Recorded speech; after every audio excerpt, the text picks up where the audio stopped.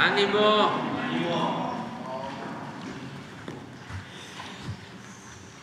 Pues vamos a informar hoy sobre todo el programa de caminos que se ha realizado en este gobierno, porque pues no se conoce mucho sobre los caminos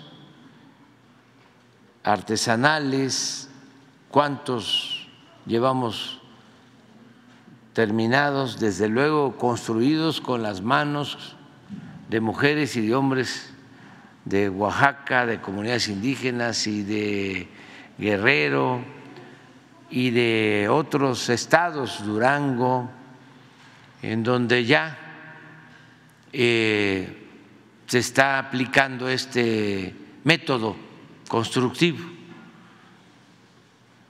Eh, ya no son empresas constructoras, contratistas, sino es la gente que está haciendo caminos de concreto, bien hechos, y el beneficio se queda en las comunidades, se generan empleos y se hace la obra.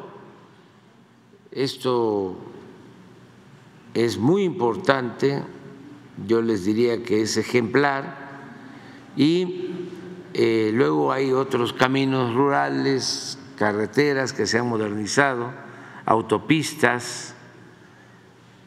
Como ya estamos terminando nuestro mandato, queremos que esto se conozca.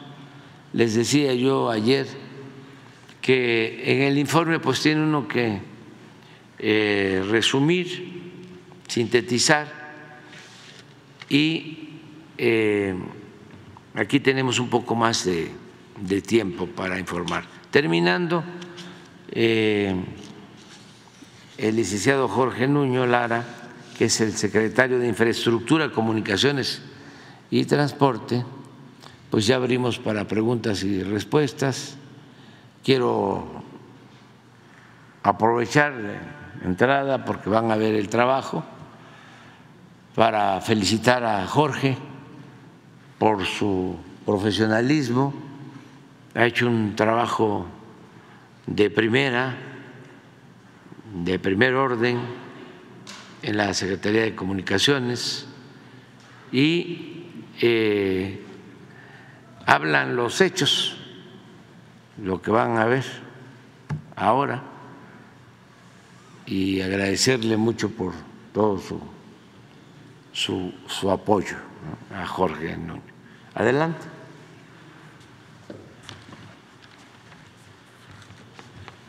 Gracias, presidente. Eh, buenos días a todos. Vamos a presentar el programa de infraestructura de eh, carreteras, caminos eh, rurales, alimentadores, así como autopistas que hemos venido desarrollando desde el inicio de la administración. Primero, agradecerle, señor presidente, la confianza que le, ha, que le ha brindado a mi persona para poder dirigir este programa. Le agradezco mucho, sobre todo, su apoyo, presidente. Sin ese no hubiéramos podido lograr lo que aquí tenemos. Bien, comenzamos. Eh, ¿Cuáles son los objetivos que nos planteamos para el programa? Son cuatro objetivos que, que lo integran. Uno es conectar regiones donde no había comunicación. Dos, reducir los tiempos de traslado. Tres, que las personas lleguen a su destino de forma segura.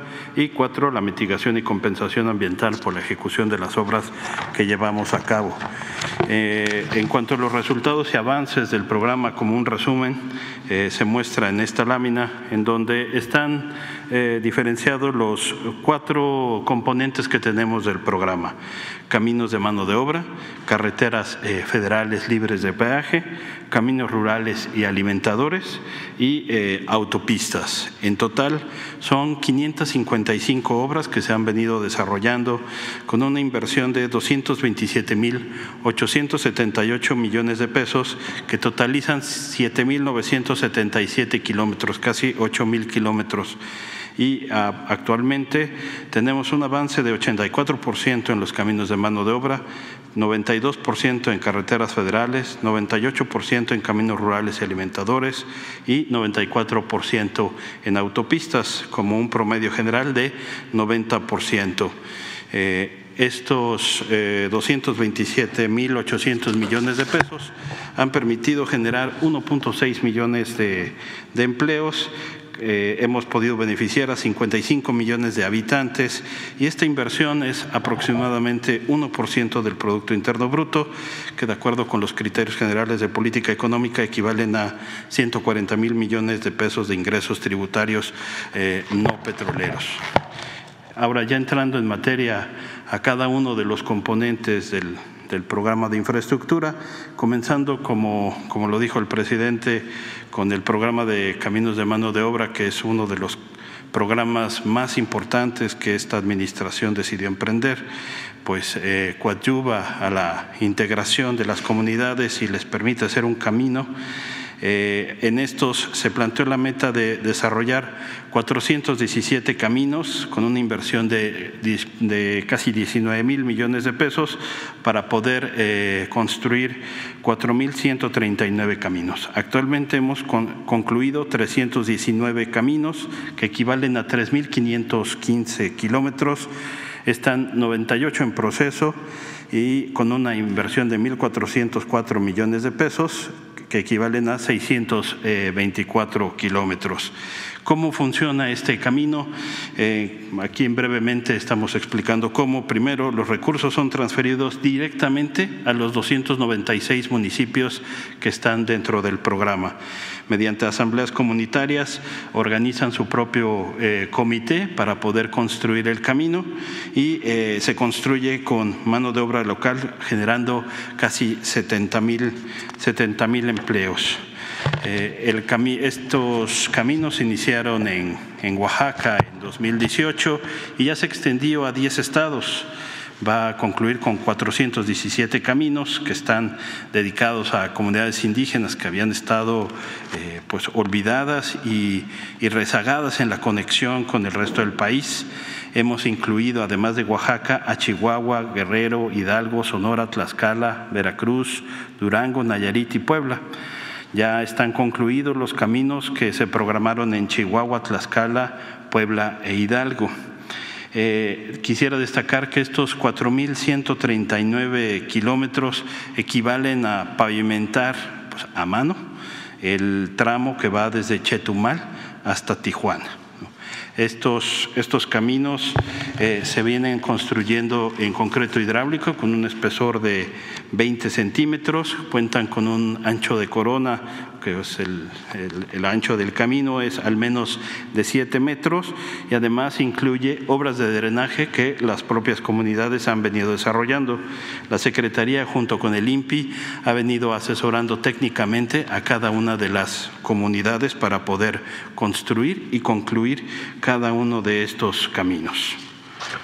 Aquí algunas fotos de los eh, caminos que han estado concluidos, el de Santa Catarina Santana en Oaxaca, que fue el que inauguramos el fin de semana pasado, junto con el presidente y la presidenta electa, eh, el de San Juan del Río a Oaxaca, el uno en Nayarit, que es Guajicoria, San Andrés Milpillas, así como a San Miguel Peras, Oaxaca, y el de Victoria Igualapa a Guerrero.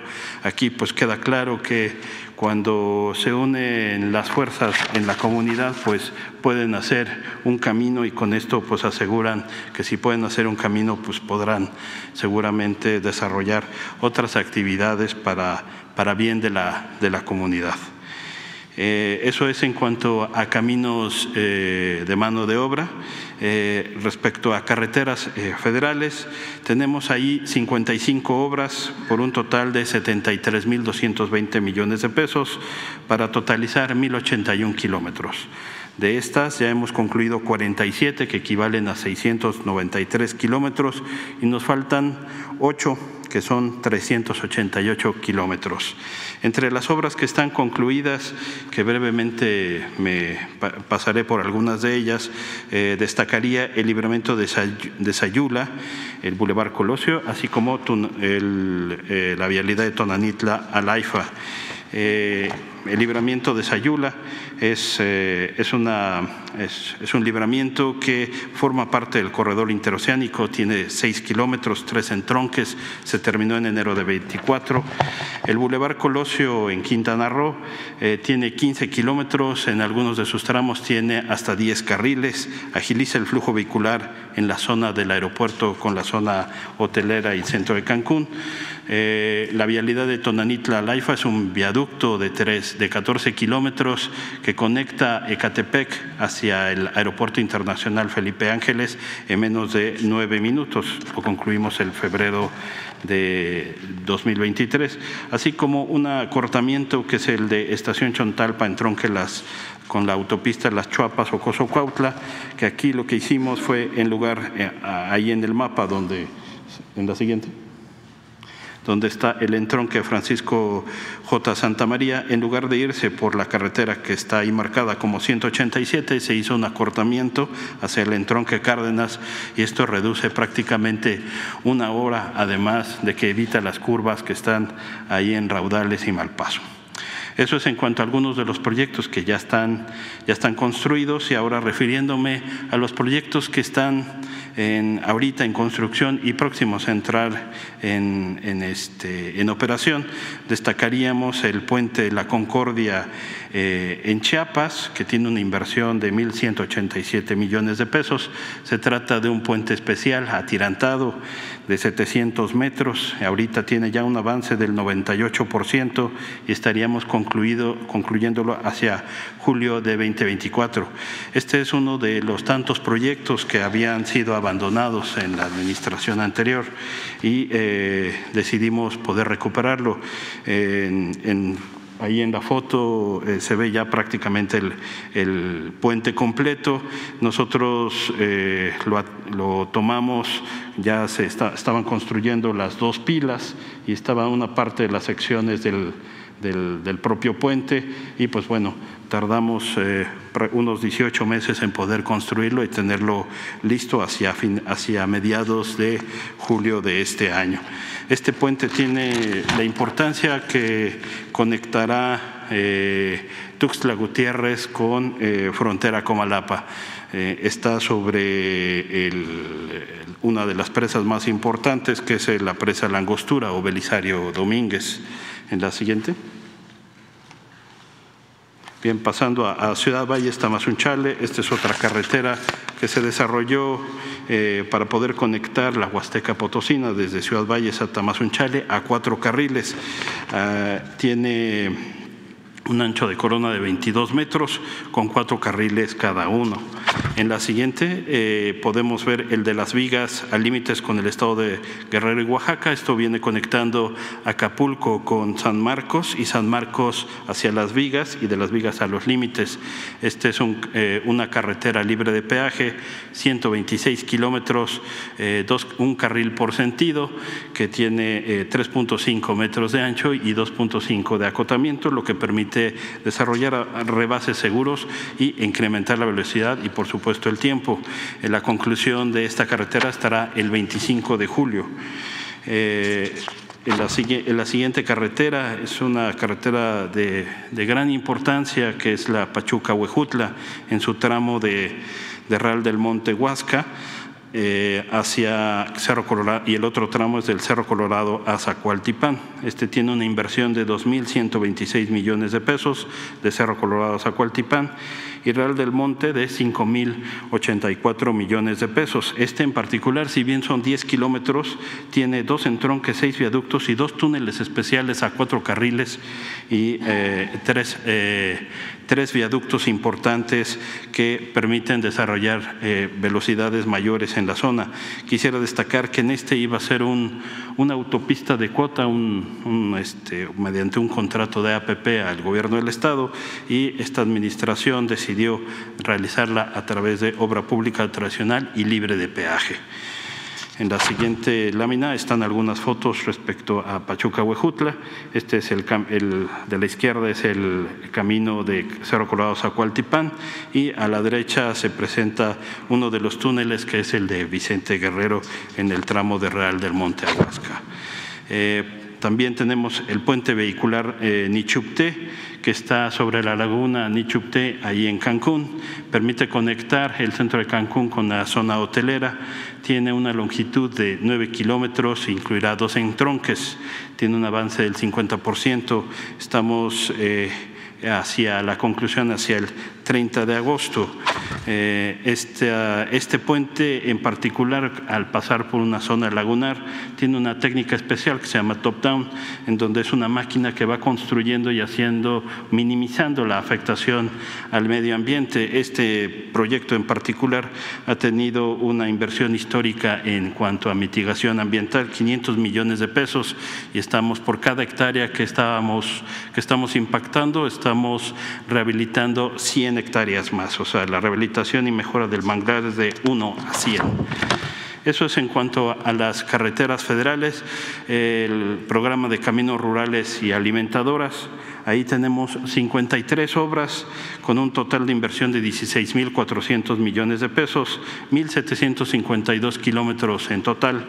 Hemos concluido de estas 53 ya 51 con una inversión de 12.865, 1.600 kilómetros. De estas obras ya solamente nos quedan dos en proceso que equivalen a 128 eh, kilómetros. De las obras concluidas, eh, voy a destacar algunas brevemente que, aquí están señaladas. En primera instancia, los Herrera Tamazula, que es una carretera de 292 eh, kilómetros, que tiene un ahorro de dos horas y que conecta los ejes eh, México-Nogales y Mazatlán, beneficiando a 1.6 millones de habitantes. también terminamos el de Agua Prieta Bavispe en Sonora, que viene de la frontera hacia Bavispe, tiene 135 kilómetros. Este camino era una, una brecha que en los años 50 eh, o 60 se había hecho y ahora ya se cuenta con un camino pavimentado a dos carriles y el, el tiempo de ahorro es de 2.5 horas. Eh, Badiraguato Parral, en el tramo de Badiraguato, a los frailes en Sinaloa, eh, eh, se une con la carretera federal México 24 y tiene una reducción de tiempo importante, casi seis horas con 40, de seis horas a una hora con 50 minutos. O sea, casi están ahorrando los habitantes cinco horas. También concluimos hacia marzo del 23 el puente de Quintina Rausch, eh, allá en, en Centla, en Tabasco, que comunica la población de frontera con Jonuta. Es un puente especial de acero que va sobre eh, el río Sumacinta. También destacaríamos el puente El 80 en Nayarit, tiene eh, una longitud de 880 metros, conecta los municipios de Ruiz y Rosa Morada y facilita el cruce del río San Pedro en tan solo 25 minutos.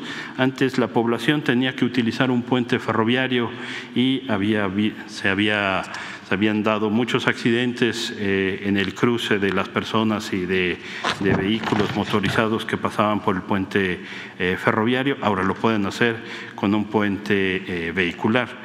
Eso es en cuanto a los que ya están concluidos. Respecto a los que estamos por concluir, como dije eh, al principio, tenemos dos por delante, Minatitlán y Hidalgotitlán en Veracruz, que es una inversión de 402 millones de pesos para construir 32 kilómetros. Llevamos un avance del 98% y estará concluido el 25 de julio de este año. Eh, aquí una foto sobre este camino. Algunas eh, especificaciones que hemos dado a este es que se ha hecho de concreto hidráulico y además que tuvimos que levantar la rasante de este camino para evitar que este se inundara con las lluvias que que se generan en esa zona. El segundo camino es el de San Ignacio a Tayoltita, que eh, es un, une eh, la parte de Sinaloa con Durango. Tiene una inversión de 3.155 millones de pesos, 96 kilómetros de longitud, incluye 12 puentes y un viaducto y la ampliación de un túnel. Ahorita lleva un avance del 84% y estará listo el 31 de agosto el ahorro en tiempo en este camino es, aproximadamente de dos horas. Eh, en cuanto a autopistas, Eh, tenemos eh, en el de alcance inicial en, en el programa 30 obras eh, totalizando 1.005 kilómetros, una inversión de casi 120 mil millones de pesos. Hemos concluido 25, nos faltan 5 por terminar, con una inversión de 44 mil 800 millones de pesos, 295 kilómetros. Eh, aquí destacaríamos las que ya hemos venido concluyendo, que es, por ejemplo, Barranca Larga Ventanilla, que es la carretera que conecta la ciudad de Oaxaca con Puerto Escondido.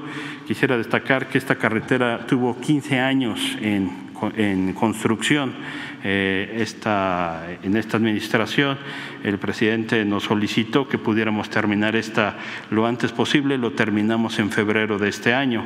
Tiene una longitud de 104 kilómetros, aloja dos carriles de circulación, cuenta con 15 entronques de acceso, tres túneles, dos, dos plazas de cobro, 10 puentes, tres viaductos y además de otras eh, estructuras especiales que fueron necesarias para la construcción del, de esta carretera. El ahorro en tiempo que, que, tenemos en esta autopista es, en lugar de ir por la libre haciendo entre seis a ocho horas de Oaxaca a Puerto Escondido con una carretera eh, sinuosa, ahora ya la pueden hacer en eh, poco, poco más de dos horas, dos horas y media de Oaxaca a Puerto Escondido. Y hemos notado en, en, día, en estos días el alto flujo que ha tenido esta carretera. Eh, hemos observado flujos de entre 5 mil, eh, 6 mil entre semana y hasta 10 mil en fin de semana, eh, vehículos eh, promedio diario anual.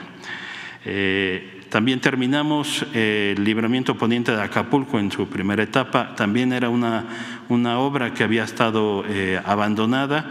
Eh, se concluyó en febrero de 2022. La importancia de, esta, de, esta, de este libramiento es que enlaza eh, la ciudad de Acapulco y permite su continuidad en un menor tiempo hacia la carretera hacia Cihuatanejo, permitiendo un ahorro de 30 minutos.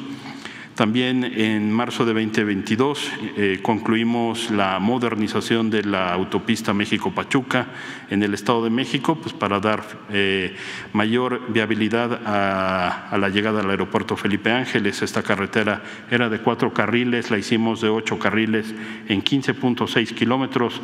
Se construyeron 23 estructuras, la, se concluyó en marzo de 2022 eh, y eh, permite un ahorro en tiempo de 30 minutos. También se concluyó eh, en octubre de 2022 eh, una carretera que también había estado por muchos años en construcción, aproximadamente unos nueve o diez años también en construcción, que es el de la Pera Cuautla. Eh, es una longitud de 34 kilómetros, cuenta con tres entronques a desnivel, conecta la autopista eh, México-Cuernavaca, eh, Tepoztlán y Cuautla. Ahora con esta, con esta autopista que antes era de dos carriles y ahora es de cuatro carriles, permite un ahorro de tiempo de hasta una hora y media a 15 minutos, beneficiando a 940 mil habitantes. Eso es en cuanto a las, las autopistas que hemos, eh, bueno, falta una más, que es el de Compostela Las Varas, que también se concluyó hace poco, antes de Semana Santa. Esta carretera de Compostela Las Varas permite un ahorro de casi 90 minutos entre Guadalajara y la Riviera eh, de Nayarit. Con eso, las personas que vienen desde Guadalajara pueden tomar la autopista México-Tepic, luego en Jala desviar a hacia la izquierda eh, y eh, continuar su camino hacia, hacia Compostela y, te, y, terminando en Las Varas, en donde también ya se está terminando una autopista. En la siguiente lámina, justo aquí, aquí se ve lo que se concluyó. Lo que concluimos fue el tramo de Compostela a Las Varas, que conecta lo que ya había estado funcionando desde Jala a Compostela. Eh, ahora lo que estamos construyendo eh, para poder terminarlo en septiembre de este año es el tramo de Las Varas a Puerto Vallarta. Este tramo eh, de autopista es de 35 kilómetros, tiene 22 estructuras, lleva un avance de 54%. Actualmente esta autopista ya llega de Las Varas hasta Bucerías y eh, faltaría el tramo de Bucerías al aeropuerto de Puerto Vallarta y con eso quedará concluido el eje Guadalajara-Vallarta en septiembre de este año. La siguiente autopista que quisiéramos destacar, que forma parte del sistema eh, de Tepic-Compostela, es el de eh, Tepic-Compostela que une eh, la ciudad de Tepic hacia Compostela para unir el aeropuerto de Tepic con el de Puerto Vallarta con la carretera que terminamos de Compostela a Las Varas. Este tramo, Tepic-Compostela, tiene una inversión de 3.523 millones de pesos y una meta de 26 kilómetros. Llevamos un avance de poco más de 34% y estará lista hacia el 25 de septiembre de este año. También eh, el presidente nos encargó poder eh, terminar el entronque de la pera eh, Tepoztlán, que era una modernización ah, este, de este entronque que estaba a dos carriles, ahora estará a cuatro carriles, además de que mejorará la geometría, eh, permitiendo que aquellos que vienen de Cuautla y se incorporan a la autopista México-Cuernavaca no lo hagan por el carril eh, de alta velocidad, sino que lo hagan a través del carril de baja velocidad, proporcionando una mayor seguridad a los usuarios en esa zona. Eh, la siguiente autopista que estamos por terminar es Mitla-Tehuantepec 2. También esta es una autopista que tiene poco más de 10 años en construcción. Eh, tiene 169 kilómetros que unen la ciudad de Mitla con eh, Tehuantepec, conecta la ciudad de Oaxaca con el Istmo tiene una alta complejidad, pues tiene que saltar parte de la Sierra Sur de Oaxaca, por lo que se están construyendo 110 estructuras. Actualmente tiene un avance del 93%, estaríamos concluyéndolo hacia finales de agosto. Eh, la importancia de esto es que permitirá conectar pues, un centro importante que es el Centro Industrial de Salina Cruz con el la capital del estado de Oaxaca, y así beneficiar a 116 mil eh, personas y quisiera destacar aquí el, ahorro en tiempo que tiene es de, en lugar de hacer cuatro a seis horas, ahora vamos a hacer dos horas y media. Para darse una idea de la importancia que va a tener esta autopista, todo el combustible que utiliza la ciudad de Oaxaca proviene de la refinería de Salina Cruz, el cual es transportado por autotanque, por la, ahorita por la carretera libre, y toma prácticamente un día transportar el combustible hacia la ciudad de Oaxaca. Con esta autopista podrán hacerlo en poco menos de cuatro horas.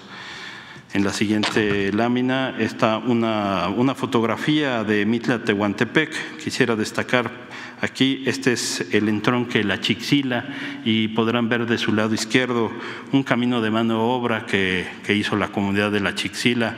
Muchas de estas autopistas, tanto Barranca Larga como Mitla Tehuantepec, tienen conexiones con caminos de mano de obra, lo cual permite a las comunidades desde, desde, su origen, hacer menos tiempo a la autopista, subirse a la autopista y estar en al menos dos horas y media a la ciudad de Oaxaca. Y bien, eh, ¿cómo hemos alcanzado estos resultados?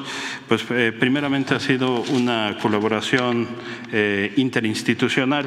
Como ustedes saben, el desarrollo de la infraestructura y de los proyectos requiere una una serie de permisos y autorizaciones que hemos venido desarrollando eh, con toda la Administración Pública Federal. Sin esa colaboración no hubiera sido posible desarrollar todos estos eh, kilómetros que hemos venido concluyendo.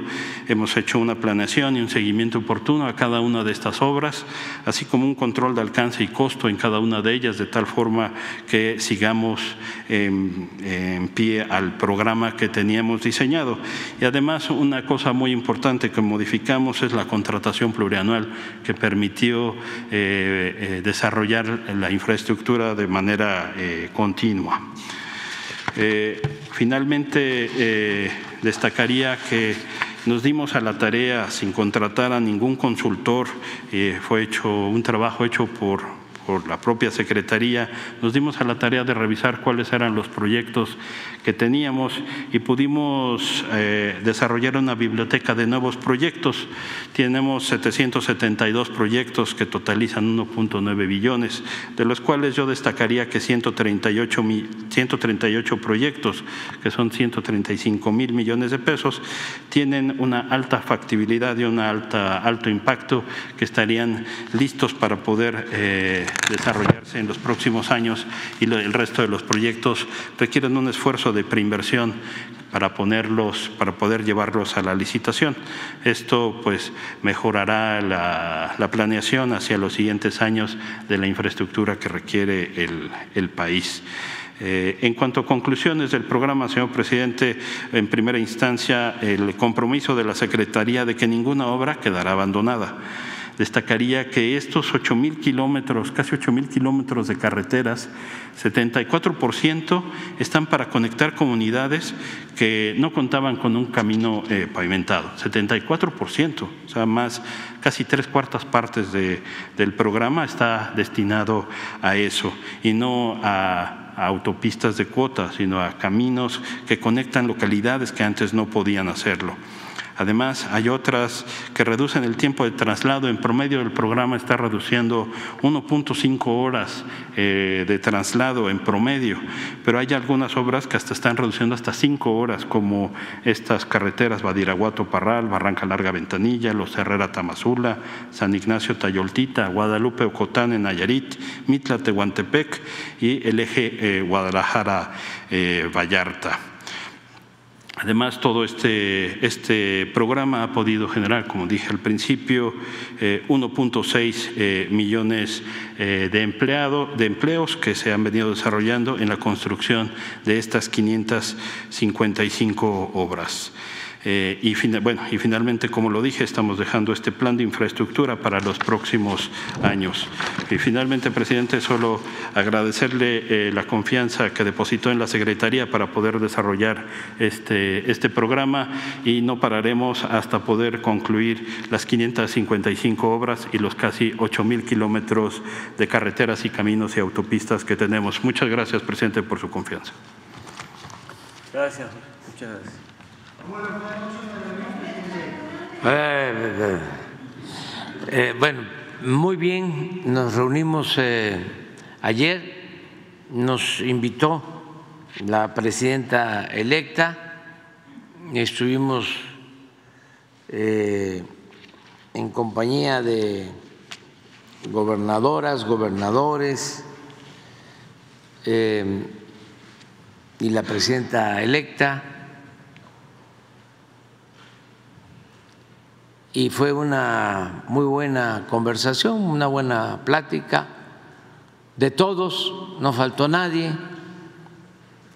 hay bastante unidad en el movimiento.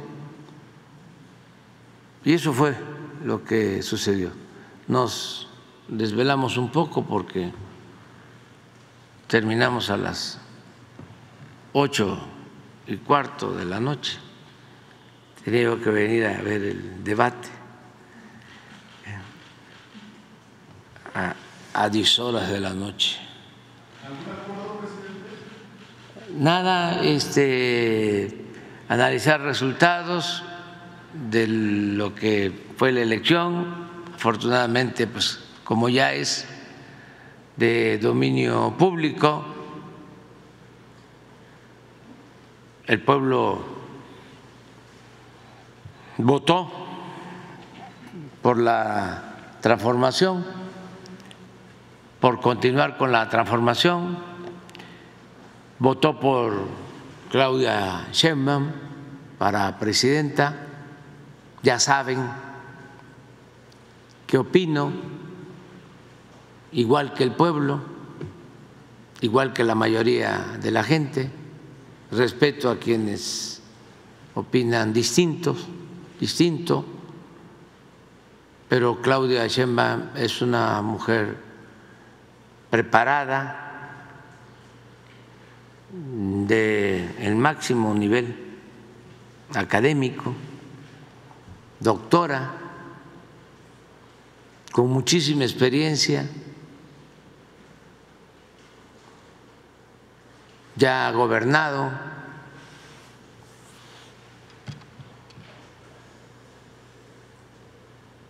es sensible, le tiene amor al pueblo, es honesta y es la primera mujer que va a gobernar México. Es todo un acontecimiento histórico. Ahora todavía no alcanzamos a internalizarlo, pero al paso del tiempo se va a entender que fue toda una hazaña. El pueblo de México actuó de manera ejemplar. Esto no sucede en otros países del mundo. Ya ven que siempre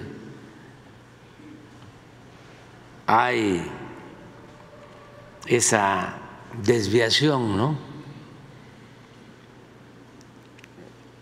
Esa deformación de pensar que lo de afuera, de lo, lo del extranjero es mejor. Pues no. México está dando ejemplos a nivel mundial. Y este es uno de ellos.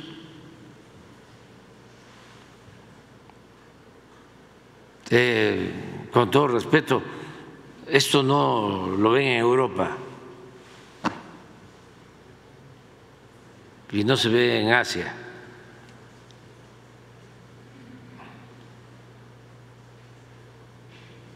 Y en América es también único de este proceso. Ya hasta me estoy viendo muy tira aceite, pero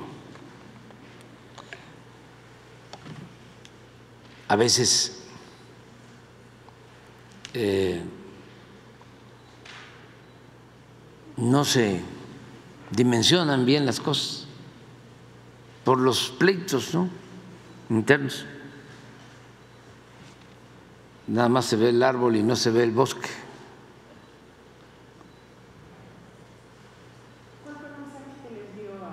a los asistentes presentes? Nada, nada más abrazos, muchos abrazos, porque pues ya estamos finalizando nuestra gestión. ¿Pero fue como una reunión de despedida, no? No, todavía nos vamos a reunir, quedamos en otra ocasión para antes de que concluya el mandato, ya la despedida, porque después de entregar la banda, adiós, adiós. Nada, no se planteó más que eh, la unidad que se logró también ejemplar.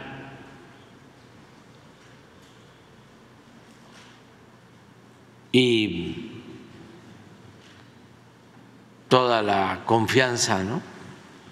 que tenemos a Claudia Sheinbaum por las razones que expuse, coincidimos. Hay gobernabilidad en el país. Y acerca de los resultados, no sé si, yo creo que ya los dio a conocer el INE, ¿no? Sí. Ya podemos darlos a conocer. pues ya son, bueno, todavía están en litigio, pero ya los resultados Pero- preliminares ya están. ah, para también este que se vea, ¿no? O no nos, lo- nos metemos en eso. Sí, sí, vamos, para que todo el mundo lo vea, porque el, reforma no saca nada. Este, espérate, Claudia, espérate, espérate. A ver si.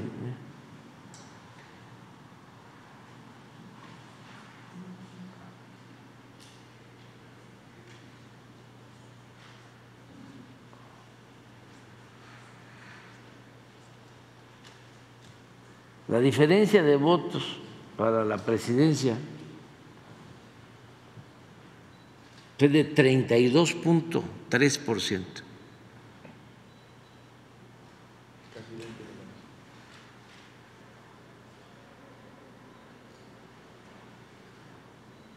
Treinta y seis millones de votos obtuvo la presidenta Claudia Sheinbaum.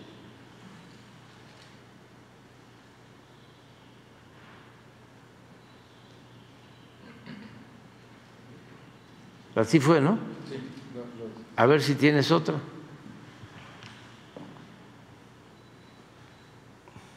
La única excepción fue Aguascalientes, por poco margen.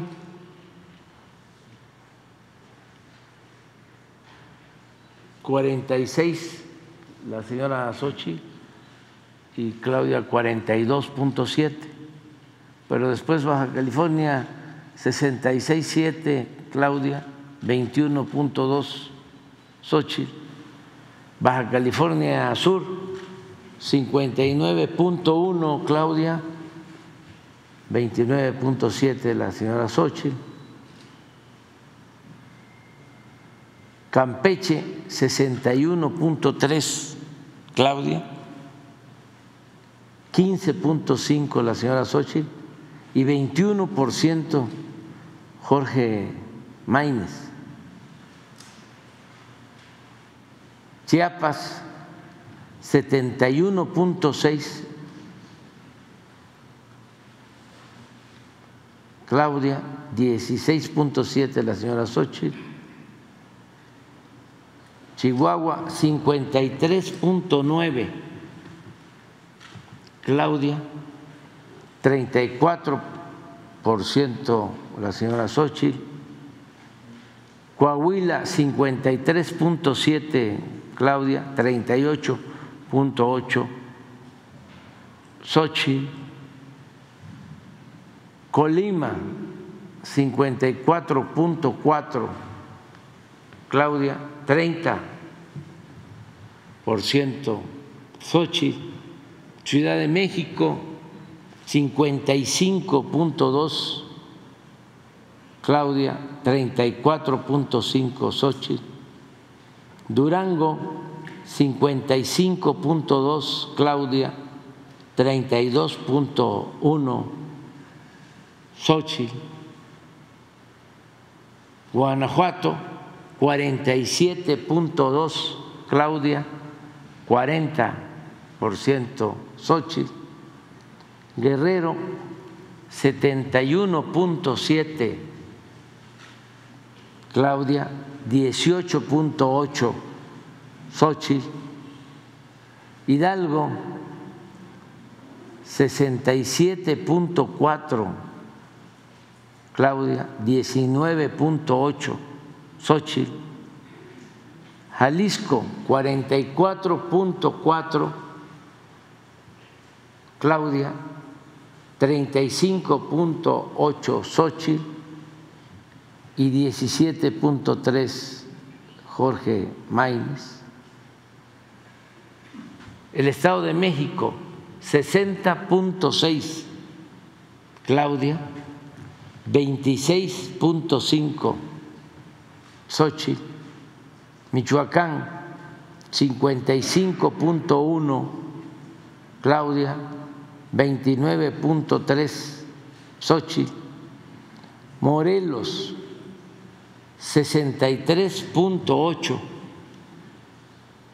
Claudia, 21 Xochitl, Nayarit 63.3, Claudia 20.2, Xochitl, Nuevo León 45.2, Claudia 34.6, Xochitl, Maines 18.1, Oaxaca 76.4, Claudia 14.4, Xochitl, Puebla 65.2, Claudia 21.7, Xochitl, Querétaro 51.1, Claudia 36.9, Xochitl, Quintana Roo 73.2, Claudia 16.8, Xochitl, San Luis Potosí 60.5, Claudia 25.5, Xochitl, Sinaloa 65.6, Claudia 24.5, Xochitl, Sonora 63.9, Claudia 24.8, Xochitl, Tabasco 80.5, Claudia 11.1, Xochitl, Tamaulipas 62.3, Claudia 26.3, Xochitl, Tlaxcala 69.2, Claudia 14.7, Xochitl, Veracruz 66.5, Claudia 23%, Xochitl, Yucatán 60.7, Claudia 30.4, Xochitl, Zacatecas 50.4, Claudia 29.9, Xochitl. Es que así nos enteramos más, porque parece mentira, pero no todo se sabe o se sabe en un estado, pero no el resultado en otros. Y así quedó.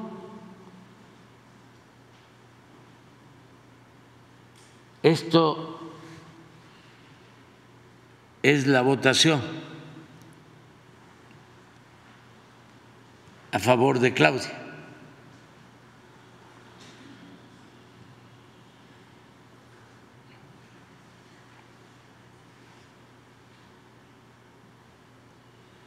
Estuvieron dale y dale y dale y dale. Todo eso debe de ayudar, lo digo de manera respetuosa, a que se revisen los procedimientos de medios de comunicación o de información, porque estaban hablando de polarización, ¿no? Agarran este términos, frases, las vuelven moda, copian de lo que sucede en otras partes del mundo y no se puede en política extrapolar las realidades. Entonces empezaron, hay polarización, hay polarización, hay polarización. Ahí está la polarización.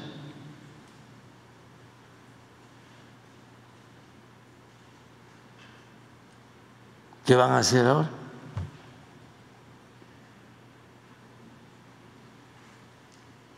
Ya le dejamos, ¿no? Ahí.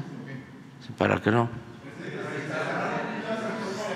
Quedaron tres este, compañeros, pero ¿saben qué?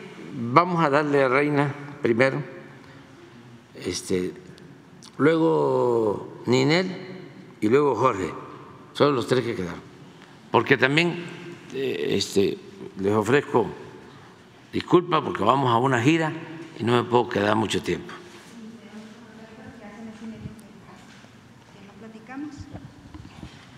Gracias, presidente, este, por darme la palabra. Ya creía yo que, que me iba a estir hasta el otro sexenio. Este, primero, no, no, ojalá no, este, no le tome usted a mal lo que yo voy a decir, pero, pero me parece muy importante. Eh, no sé yo respiro profundo. Sí. Ah, yo también. Este, bueno, no sé si vio que ayer este Noroña dijo que Monreal entró, dio un discurso y se fue. No atendió la, reunión de la reforma eh, de justicia que usted propone. Y se lo digo porque por cosas así el hombre no se entera y luego dice barbaridad y media. Hace dos días dijo que con esta reforma que usted propone se van a... Mm, el tema es impunidad, ¿eh? Eh, se va a acabar la corrupción. Fíjese nomás lo que dice, usted también lo dijo ayer, pero bueno, yo le pregunto a usted, ¿este Monreal cree que el pueblo es tonto? ¿O qué pasa? Porque con eso no se va a acabar la corrupción. Y ahí entro a mi tema real, presidente, que es la impunidad y que sí es muy preocupante porque usted ya se va y hay casos que no están resueltos. Eh, le quiero mencionar unos casos de, impunidad que están pendientes.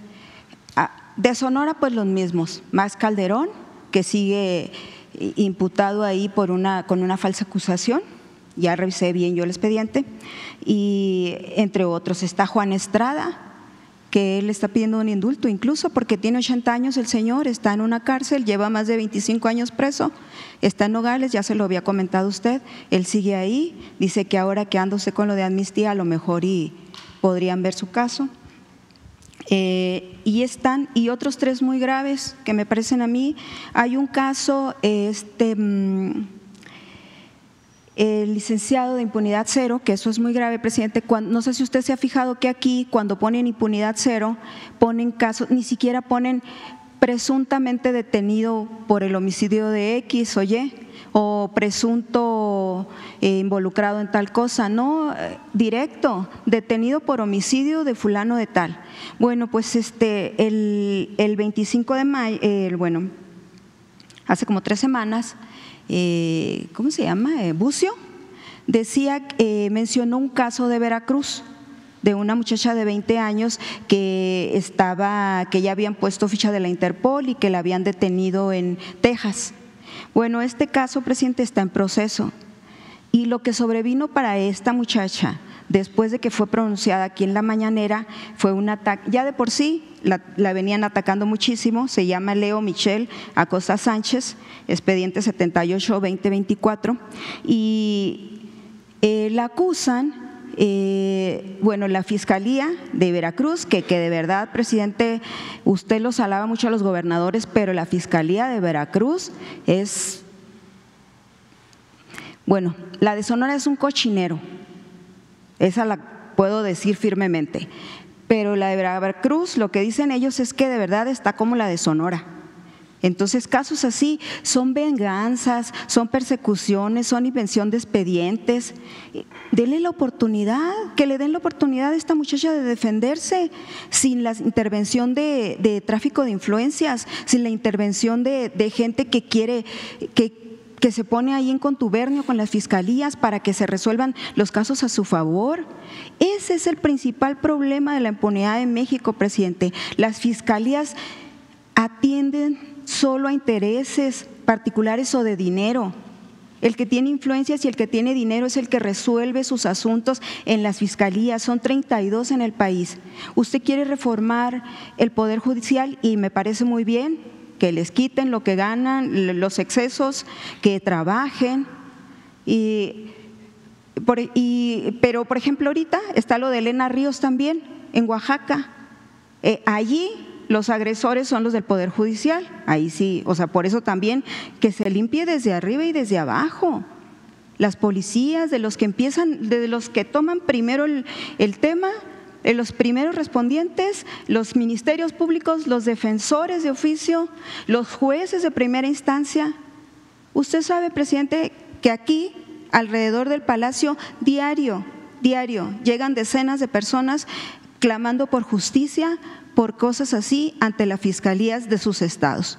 Entonces, usted lo sabe y están atendiendo uno, dos o tres de Sonora eh, que vinieron recientemente. Eh, bueno, esta señora no los pudo ver. Ella, eh, la mamá de, Michelle Acosta vino, trató de, estuvo aquí en Atención Ciudadana, no le hicieron caso. quiso poner una denuncia contra Bucio por andar este, violentando el debido proceso exhibiendo aquí un caso que ni siquiera está juzgado. Eh, y no, o sea, en vez de dar sentencias, eh, pone casos eh, que les mandan las fiscalías y las fiscalías no son las mejores fuentes, presidente. No son las mejores fuentes para decir que en México hay impunidad cero. Y eso es un, pues es una tristeza y una preocupación grande en los estados porque de la gente, o sea, porque ¿quién pierde con esto? No pierde el rico ni los que tienen influencias, pierde el pueblo, pierde la gente, porque sus casos eh, no pasan de la primera instancia, los amedrentan, no tienen recursos, no pueden pagar un abogado. Entonces, ¿ahí qué va a hacer, presidente? ¿Cuál es su propuesta ahí? Está bien, sea venganza o no sea venganza contra el Poder Judicial, y qué bueno que se está debatiendo y qué bueno que se va a reformar. Y qué bueno que ayer lo sacaron, los estaba escuchando yo ayer por primera vez, porque esa gente es inalcanzable. Los jueces, los magistrados, uno ni los conoce, el pueblo no los conoce. Y a ver, le, beneficiaron, por ejemplo, a usted, a mí, fueron en contra mía, con el amparo que puse, lo beneficiaron a usted, porque están con el poder, no están con el pueblo. Bueno, ese es uno, ese de casos de impunidad. El otro, eh, usted tiene de vecinos aquí en la esquina. Sí sabe que tiene aquí de vecinos desde hace varios meses a un grupo de campesinos que tiene un plantón ahí contra esquina del palacio. ¿Sí los ha visto, presidente? A esta gente. Sí. Ah, y sí sabe lo que están peleando. Ese es un caso muy grave, presidente, muy, muy grave. ¿Y sabe por qué? porque ellos están peleando por la libertad de un compañero que lo están acusando de homicidio. Y ahí sí, la justicia fue muy rápida y expedita. ¿Y sabe por qué? ¿Quién es el, presunto, la presunta víctima? El ejército. El ejército. Higinio Bustos Navarro tiene tres años preso.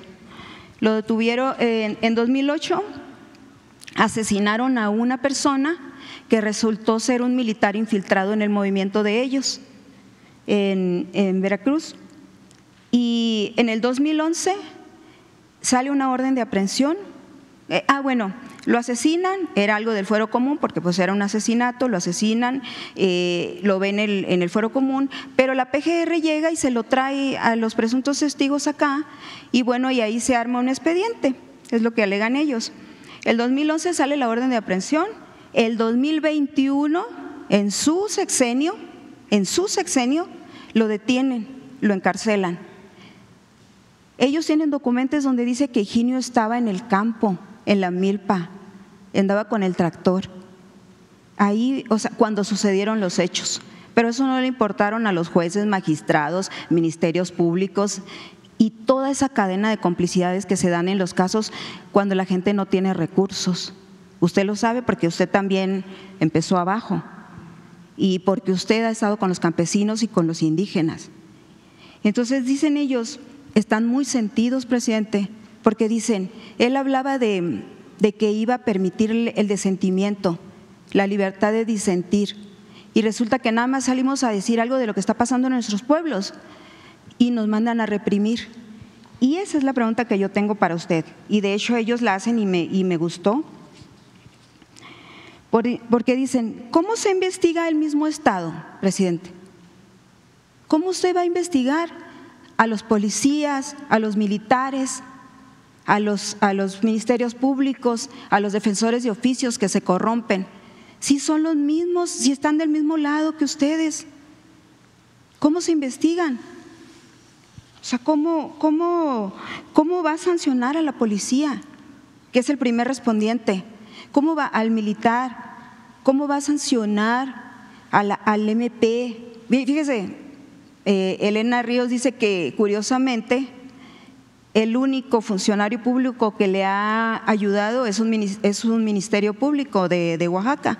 Todo lo demás, desde jueces, eh, abogados, incluso hasta abogados de ella misma, le han traicionado, porque el poder, el dinero, en este sexenio de usted, cuando ya no iba a pasar eso, cuando eso ya no se iba a permitir, se está permitiendo, se está permitiendo. Entonces, Higinio ahí está. ¿Y por qué? porque el muerto es un militar. Ahí sí la, justicia fue rápida y expedita, muy rápida.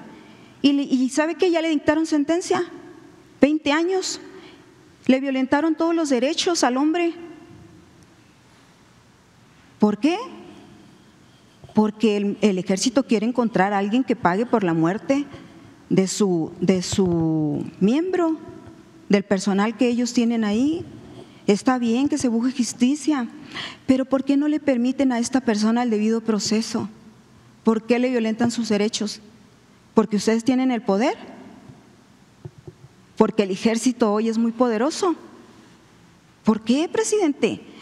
Acuérdese usted cómo empezó. Usted ofreció justicia para los pobres y los de abajo. Y eso aquí no se está cumpliendo.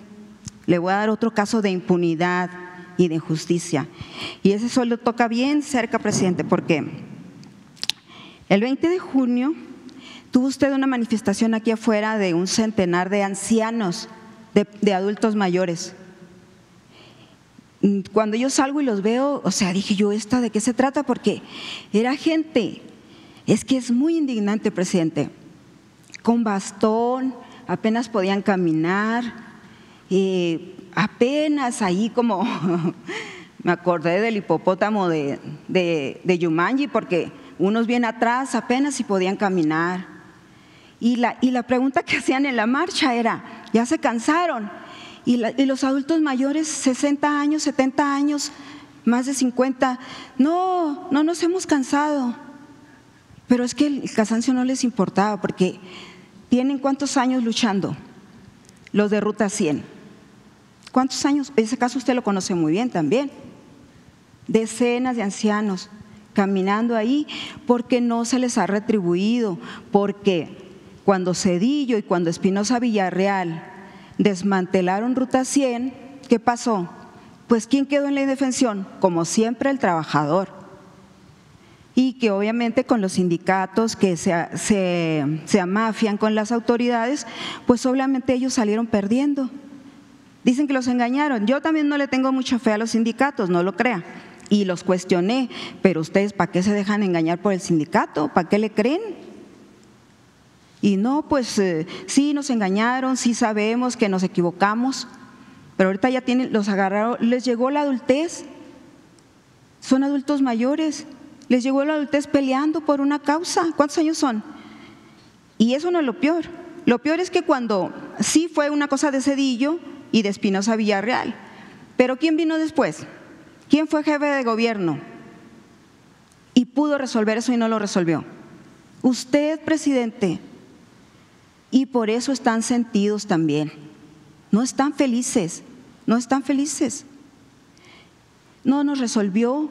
Y, sabe también qué dicen ellos que cuando ellos eran, eran un sindicato muy poderoso y que cuando ellos estaban en el poder, porque era un sindicato muy poderoso, como todos los sindicatos, como la mayoría de los sindicatos que tienen mucho dinero y se enriquecen, iban los candidatos a pedirles dinero para su campaña, para sus campañas. Y dicen ellos que les daban millones. Y adivine desde cuándo, a todos los que han pasado de izquierda, eso pasó. A Claudia ya no se acercó con ellos, dicen, porque pues ya no tenemos nada, dice, que dar. Ya no nos pueden pedir un peso. Dicen ellos y, agradecen también hasta eso que usted, bueno, el, gobierno de la ciudad este año o el fin de año les dieron 24 mil pesos, presidente, así como que para que pasaran la Navidad, qué sé yo. Pero no le da tristeza, presidente, que adultos mayores y que usted estuvo en sus manos cuando fue jefe de gobierno y lo resolvió. Seis años como presidente y tampoco, ni Martí Batres, ni, ni el otro, em, ni Encinas, ni Ebrar, ni, ni, ¿cómo se llama el otro? El Mancera, pues menos, ¿no? Pero, y todos esos pasaron por ahí, no les resolvieron el asunto. Y ahora están amafiados con las nuevas empresas, dicen que los defalcaron. Yo qué le voy a contar, usted sabe muy bien ese caso. ¿Por qué no se les ha podido dar un, un trato digno a estas personas? ¿Por qué? ¿Por qué la justicia no les llega? En su tiempo, cuando usted ha tenido el poder de resolverlo o de influir, porque usted influye mucho. No soltaron a Max, han soltado a muchas personas porque usted interviene, porque usted tiene voluntad política para hacerlo. ¿Qué, qué ha pasado con los mineros de Cananea? Que, ¿Sabe por qué están aceptando un trato hoy los mineros de Cananea? Y que tengo entendido que sí les está usted eh, tratando de ayudar. Porque, porque ya vieron que les va, ya, ya tienen ellos también 60, 70 años. Y dice, un minero tiene un promedio de vida 55 años. O sea, ya, ya no podemos seguir en la lucha porque ya nos alcanzó la, la adultez. Ya somos adultos mayores, ya somos ancianos. No podemos seguir, o sea, pues entraron en conciencia, lo bueno, y están aceptando, tengo entendido que ya les dieron el IMSS. Ahorita están en proceso de que eh, les pidieron, creo que la CEGOP les pidió una pues háganme una propuesta de a ver cuánto van a aceptar la liquidación. ¿Por qué van a aceptar la liquidación? Por eso. Pero está en proceso que les den una oferta digna. La empresa yo no creo que lo va a pagar, supongo que lo van a pagar ustedes. Eh, porque Grupo México se ha hecho de la vista gorda toda la vida, también en su sexenio, porque la mafia del poder no se acabó, presidente, con usted. Ahí siguen. Novia Slim, se retrata con todos los presidentes que vienen, ya se retrató con Claudia. Ellos no pierden, ellos van a seguir ahí. Usted los tenía de asesores y ahí estaba Balleres. Tan mal que hablaba usted de Balleres y ahora resulta que cuando ya es presidente, bueno, yo tampoco ya no puedo hablar de las personas que no están, pero bueno, el hombre, ahí están, ahí siguen. No, no, no, no se perdió la mafia del poder y sí perdió el pueblo. Y hay preocupación por lo que viene. Hay preocupación porque usted habla mucho de que Claudia es muy honesta, eh, es muy estricta, es muy esto y muy aquello. Ojalá, de verdad yo digo, ojalá. Pero ¿sabe qué, presidente? Ha dado muchas muestras de que, de que la corrupción puede continuar, de que la impunidad puede continuar. ¿Y sabe por qué? ¿Quién ganó en Sonora? ¿Quién va a ser senador en Sonora? Heriberto Aguilar. ¿Y sabe quién es Heriberto Aguilar? De Morena. Fue el representante de Claudia en la campaña en Sonora. ¿Y sabe qué? Una de, las últimas que hizo públicas, firmó una supuesta competencia entre cuatro empresas. Ay, vamos a competir entre nosotros por esta obra. Y él siendo, él siendo titular de SIDUR, ahorita con Durazo, firmó la supuesta competencia, son los mismos de la misma empresa, son factureras, son empresas que entran cada sexenio, bueno, estas están desde padres, y en su sexenio ya les dieron cabida. Les, usted les está dando cabida en el tren de Imuris, Durazo les está dando cabida en su gobierno para que hagan esta obra, para que me vendan medicinas. Y, ¿sabe qué también andan diciendo? Que también están en el tren Maya, los parientes de padres. ¿Por qué, presidente? ¿Por qué usted permite eso, esa corrupción? Y se va a quedar. También va a ser diputada federal la esposa de, de Gutiérrez Luna, de Ana Karina Barreras. Ella no tenía ningún problema en gastar el recurso público del Congreso para su campaña y meter facturas. Pues, ¿Cómo, ¿Cómo se va a acabar esto en su sexenio y en el sexenio de Claudia? ¿Cómo? Si ya traicionaron, Noroña dice que lo traicionaron. ¿Qué es eso? Que usted se desdijo. O sea, y lo que hemos, es más, bueno, pero el otro tema, primero, y el otro tema también preocupante es sobre la, la libertad de expresión, pero si usted quiere responderme ese tema de cómo, cómo se investiga el Estado, ¿va usted también dejarle a Claudia que haga algo con las fiscalías? Que se limpien las fiscalías estatales, que se limpien las corporaciones policíacas, que se acabe la impunidad. Siete de cada cien delitos en México, solo esos siete se resuelven. Hay más del 90% de impunidad en México, según el último estudio de impunidad cero.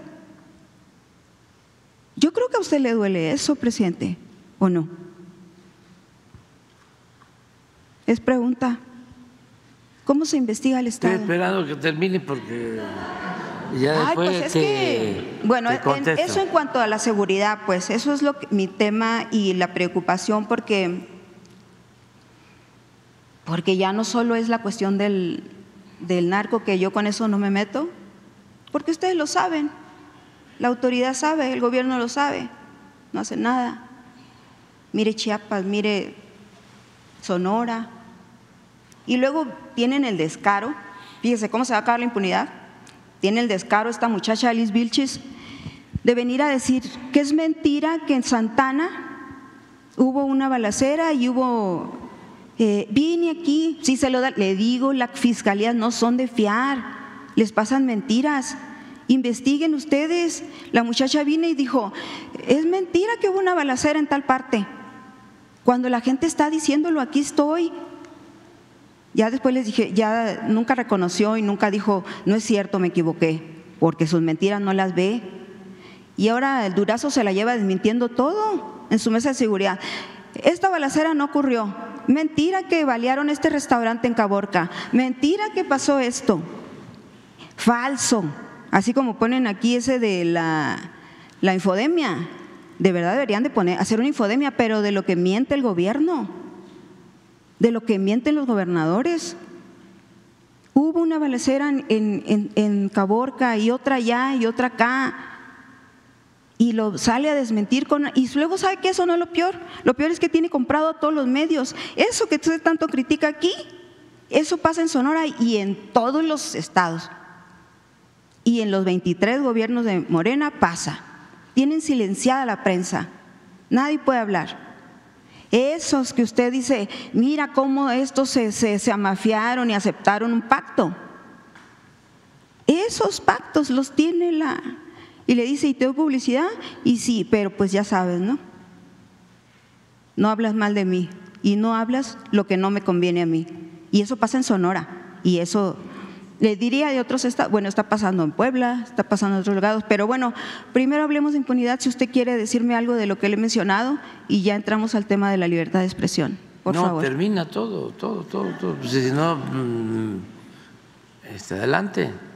Pues me deje respirar, hablemos de impunidad. Sí, no, no, sencillamente decirte que tienes toda la libertad para manifestarte precisamente por la libertad de expresión pero pues yo también tengo este, el derecho de decir que no estoy de acuerdo contigo ¿sí?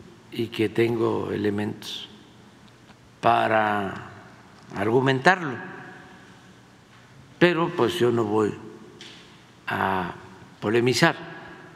Pero en Ruta 100, por ejemplo, está haciendo algo. ¿Mande? En lo, con lo de Ruta 100 pasó, hizo algo. ¿En lo de qué? Ruta 100. Sí, pero eh, es otra situación. Y, ¿Más complicado? sí, y es una visión distinta a la tuya. Este, yo conozco muy bien la historia y nada más te adelanto de que eh, se está llevando a cabo una liquidación, una recompensa a todos los trabajadores de la antigua Ruta 100. 12 mil dice que son. Bueno, eran, ya quedan eso, como 7 pero ya mil. se empezó a entregar ese apoyo, es algo que hizo el jefe de gobierno Martí Batres. Pero habla de los 24 mil pesos. La cantidad que sea, pero ya se está ayudando este, a los extrabajadores de la Ruta 100, independientemente de la cuestión legal, es un asunto de justicia. Pero Dice que detuvieron no nos vamos a poner de acuerdo.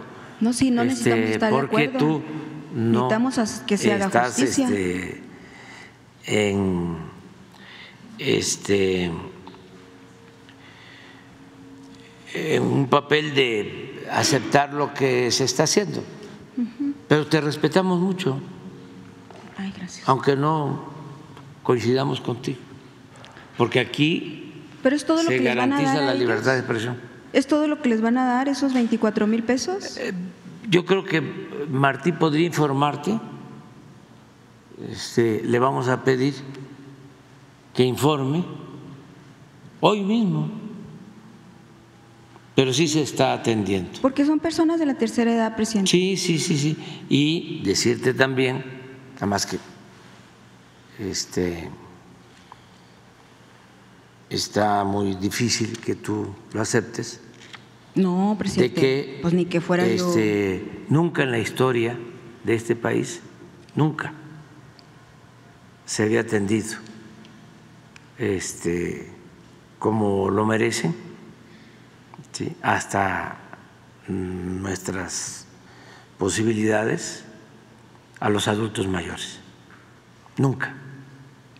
A la mayoría. Entonces sí. tú no, eso No, sí, yo sí. no lo tomas en cuenta. Entonces, Claro. ¿para qué este, me pongo Si a yo tomo en polemizar las contigo? cosas buenas. Y lo mismo en el caso de la pobreza, o sea, es, pues, es cosa de que revises los resultados del INEGI ¿sí?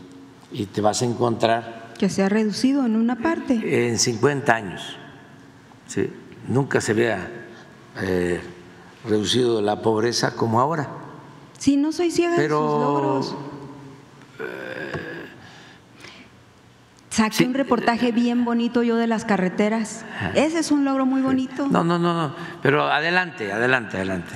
O Ahora, sea, tampoco- nada más por eh, libertad de expresión, no hemos perseguido a nadie, no hemos censurado a nadie. Esto que está diciendo, por si este es el tema, De esta eh, gente. De Higinio, por ejemplo. ¿cómo se llama? Eh, La Carlos Lórez de Mola, que dice que se va a defender y No, pero espérame, ahorita entramos con ese tema. Primero nada veamos más lo que yo termine, ¿no? Quería que yo hablara. Ah, bueno, pero no, pero hablemos de la impunidad. Higinio, en el caso de Higinio, Bustos. ¿Cuál ¿Usted es? promete revisar ese caso? Sí, sí, sí. El de la esquina, el que está Todos, todos los casos se Y revisan. pasan y pasan indiferentes. Todos, todos, todos, todos. No, no, no, pero ¿qué pudiera hacer ahí en ese caso, presidente? Que Pues, está involucrado el que ejército. se, le, se atienda y que se vea qué está sucediendo. Que se revise. Sí, que se revise. ¿Quién lo revisaría? ¿El caso de Higinio? Este, Rosa Isel Rodríguez. podría haber una respuesta sobre Sí, que revise. sí, sí, que lo revise. Si el ejército se aprovechó de su poder ahorita. Sí, sí, sí, sí. No hay si- impunidad. o si realmente tú el hombre andaba en la milpa. lo contrario. No, no, yo no pienso lo contrario. Son casos. Por yo- eso, Yo pero- me paro a hablar con la gente allá afuera. Nosotros este, no aceptamos sí, abusos de autoridad y actuamos con justicia. Aprovechando lo de lo de Mola, es que leí algo que dijo que este eh, va a estar, ¿eh? Que se le está persiguiendo y que va a estar preparado, que no se prepare de nada.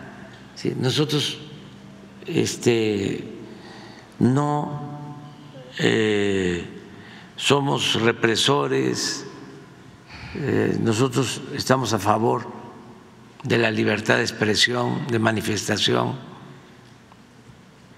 eh, que no nos eh, quiera usar a nosotros Pero es que- para eh, tratar de esconder, ocultar su rotundo fracaso como periodista al servicio de la corrupción. Pero en O sea, ¿qué culpa este, tenemos nosotros? Y que no se preocupen nada, o sea, eh, ni denuncia, ni este, atención, ya está, se me olvidó. Ya, eh, porque estuvo eh, calumniando y calumniando y calumniando todo el tiempo. Y no tuvo ningún efecto.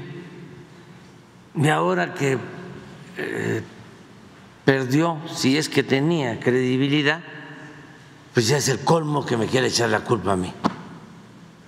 Ya es mucho. Pues que mucha casualidad también, presidente. Y acuérdese que en política no hay casualidades. Sí, pero ¿cuál casualidad si Por yo no ejemplo, me he metido Yo con él? no- y yo no quiero defender a este muchacho porque pues tiene sus cosas. Yo lo veo, o sea, pues de repente, y es que ese es el problema con los que agarran una trinchera. Así como él agarra una trinchera, también los que agarran otra trinchera en favor de usted. No, Entonces, ¿cómo no? Jamás ¿Cómo no? le Contra pido yo a línea y nadie. etcétera. Nunca Y- lo he hecho. Y muchos que están aquí que le aplauden. nunca, nunca lo he hecho, este, Reina. Le he pedido a nadie que hable bien de mí. No, pero es que hay muchos acomedidos Por también. cuestiones eh, de principios, de ideales. Porque somos distintos. Pero usted no lo tiene que pedir, presidente, porque la es- son valores entendidos en la política. No. Con el PRI, con el PAN. Bueno, el No. PAN sí te exigía. El PAN sí exigía. Te doy tanto y haces eso. Ah, sí, pero. y el PRI, pues tenía sus No, maneras. no, no, no, no, no. y aquí con Morena, pues también. No nos estés comparando. Pues es que se sigue. No haciendo. somos iguales, ¿no? Para Son nosotros el maneras. poder es humildad. Y el poder solo tiene sentido y se convierte en virtud cuando se pone al servicio de los demás. Pero, por ejemplo, hecho de echarle hacienda a un periodista o a un detractor. Pero eh, eso es nadie algo le muy echó viejo. a nadie. Eso es algo muy viejo. Nadie a mí me lo hizo Claudia Hacienda, Pavlovich. Nadie, nadie. a mí Es, me lo hizo este, Claudia Pavlovich y otros gobernadores. Ya va a venir el miércoles este Pablo. ya Pero lo han hecho los priistas y lo hacían los panistas y yo pensé que nos no. íbamos a salvar con usted. Nosotros no. Pero Te bueno, lo puedo garantizar. presidente, ¿cómo se puede evitar que el dinero y las influencias corrompan a los, a los nuevos jueces que van a entrar ya por elección y los ministros y, y magistrados? ¿Cómo se puede evitar? Pues primero lo que se está proponiendo creo yo que va a ayudar, eh, porque eh, no es fácil resistir las tentaciones del poder y del dinero. Así es, no es fácil. La única manera de eh, no corromperse es eh, manteniendo principios, ideales. O sea, eso es lo que protege. Eso es lo que vuelve a uno eh, indestructible. Está fuerte, pero así es. El escudo que protege a un dirigente que está luchando por una causa justa es la honestidad.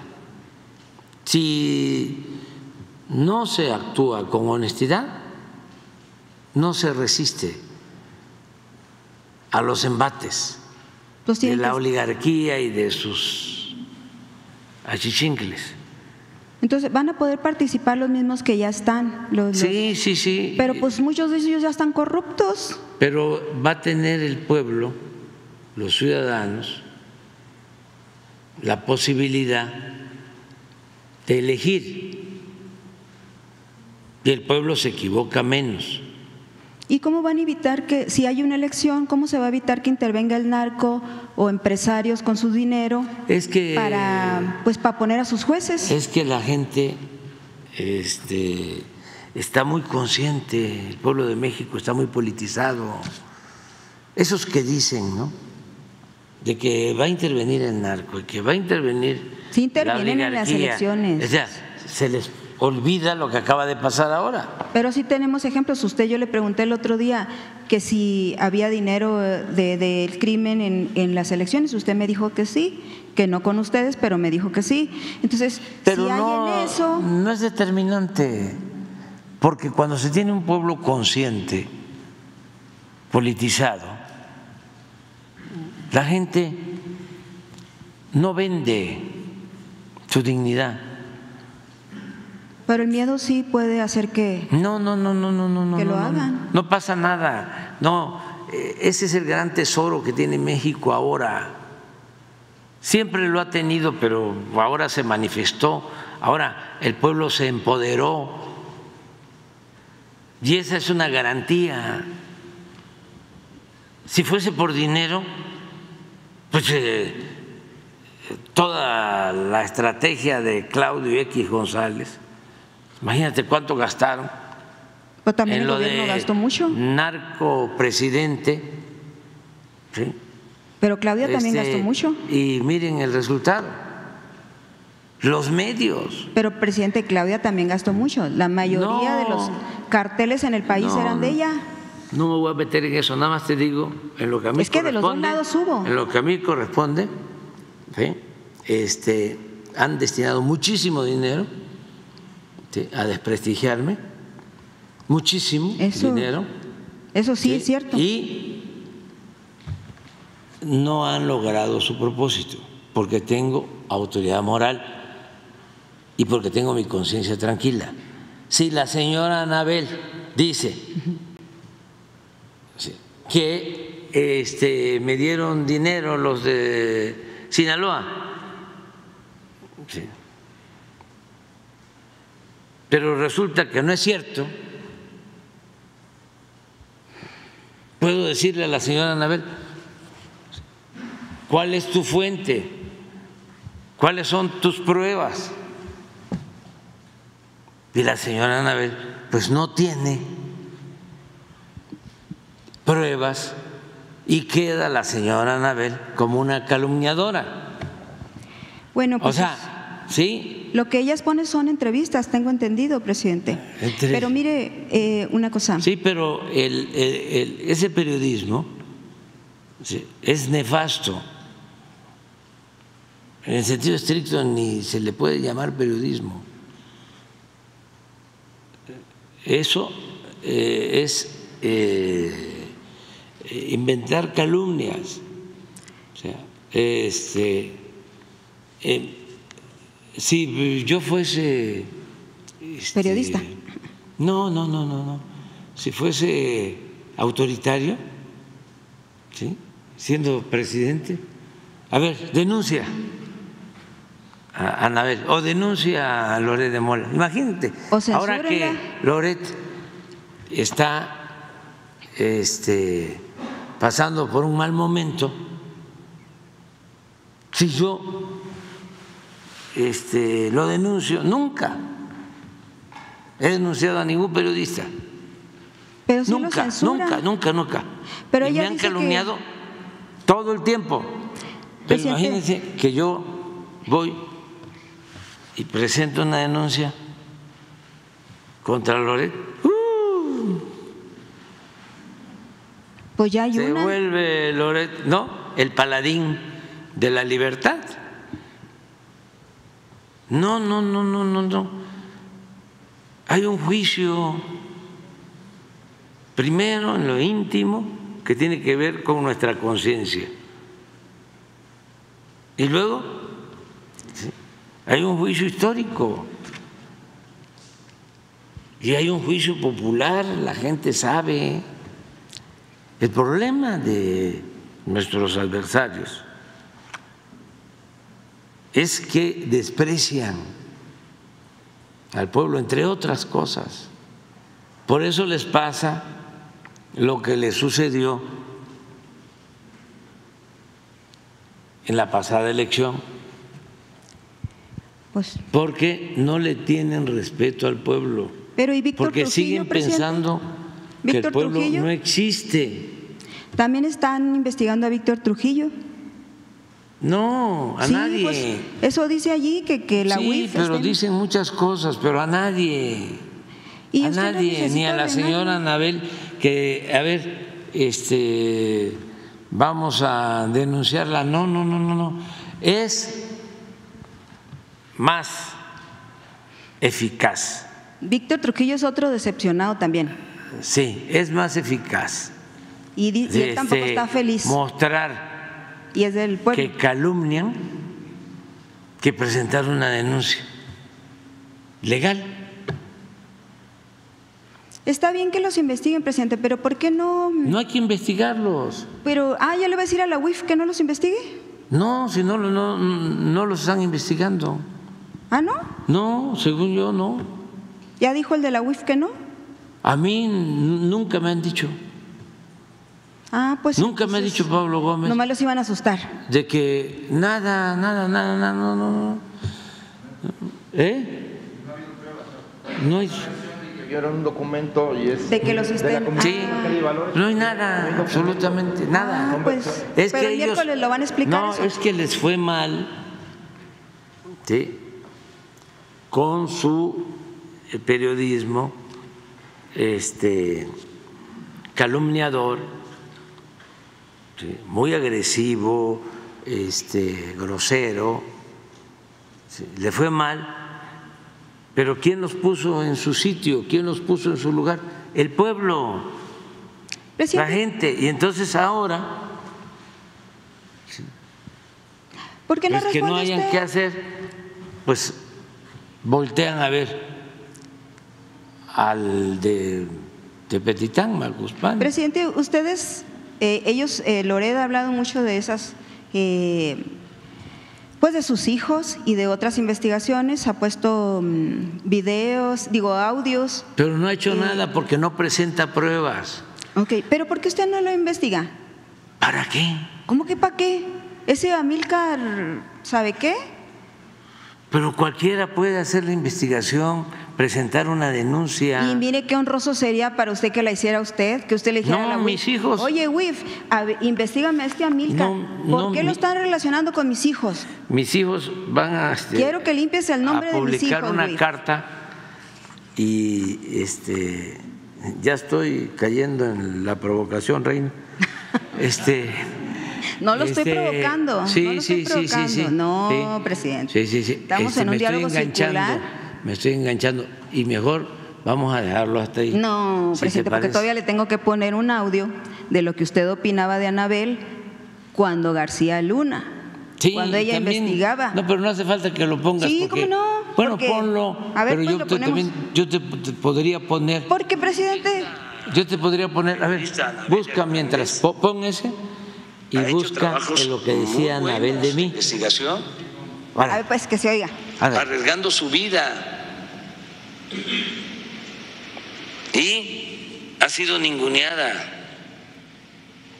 hasta mal vista.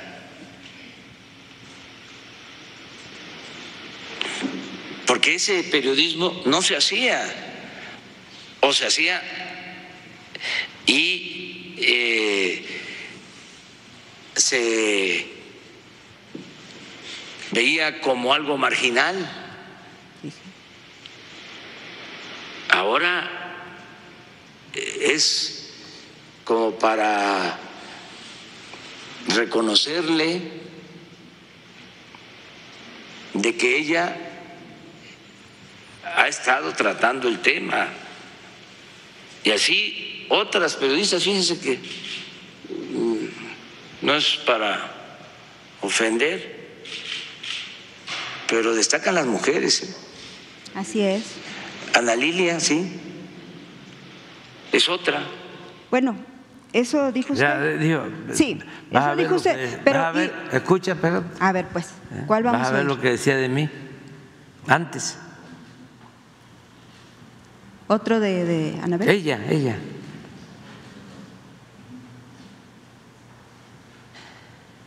¿Sí se oyó bien el que puse? Sí, sí se escuchó bien. ¿Todo completo? Fuente muy confiable de que Andrés Manuel López Obrador acababa de comprar una mega residencia en Bosques de las Lomas, que es una de las zonas más caras en la Ciudad de México. Y que esta fuente este, conocía al notario, sabía exactamente quién había sido y bla, bla, bla. Entonces yo, como una periodista,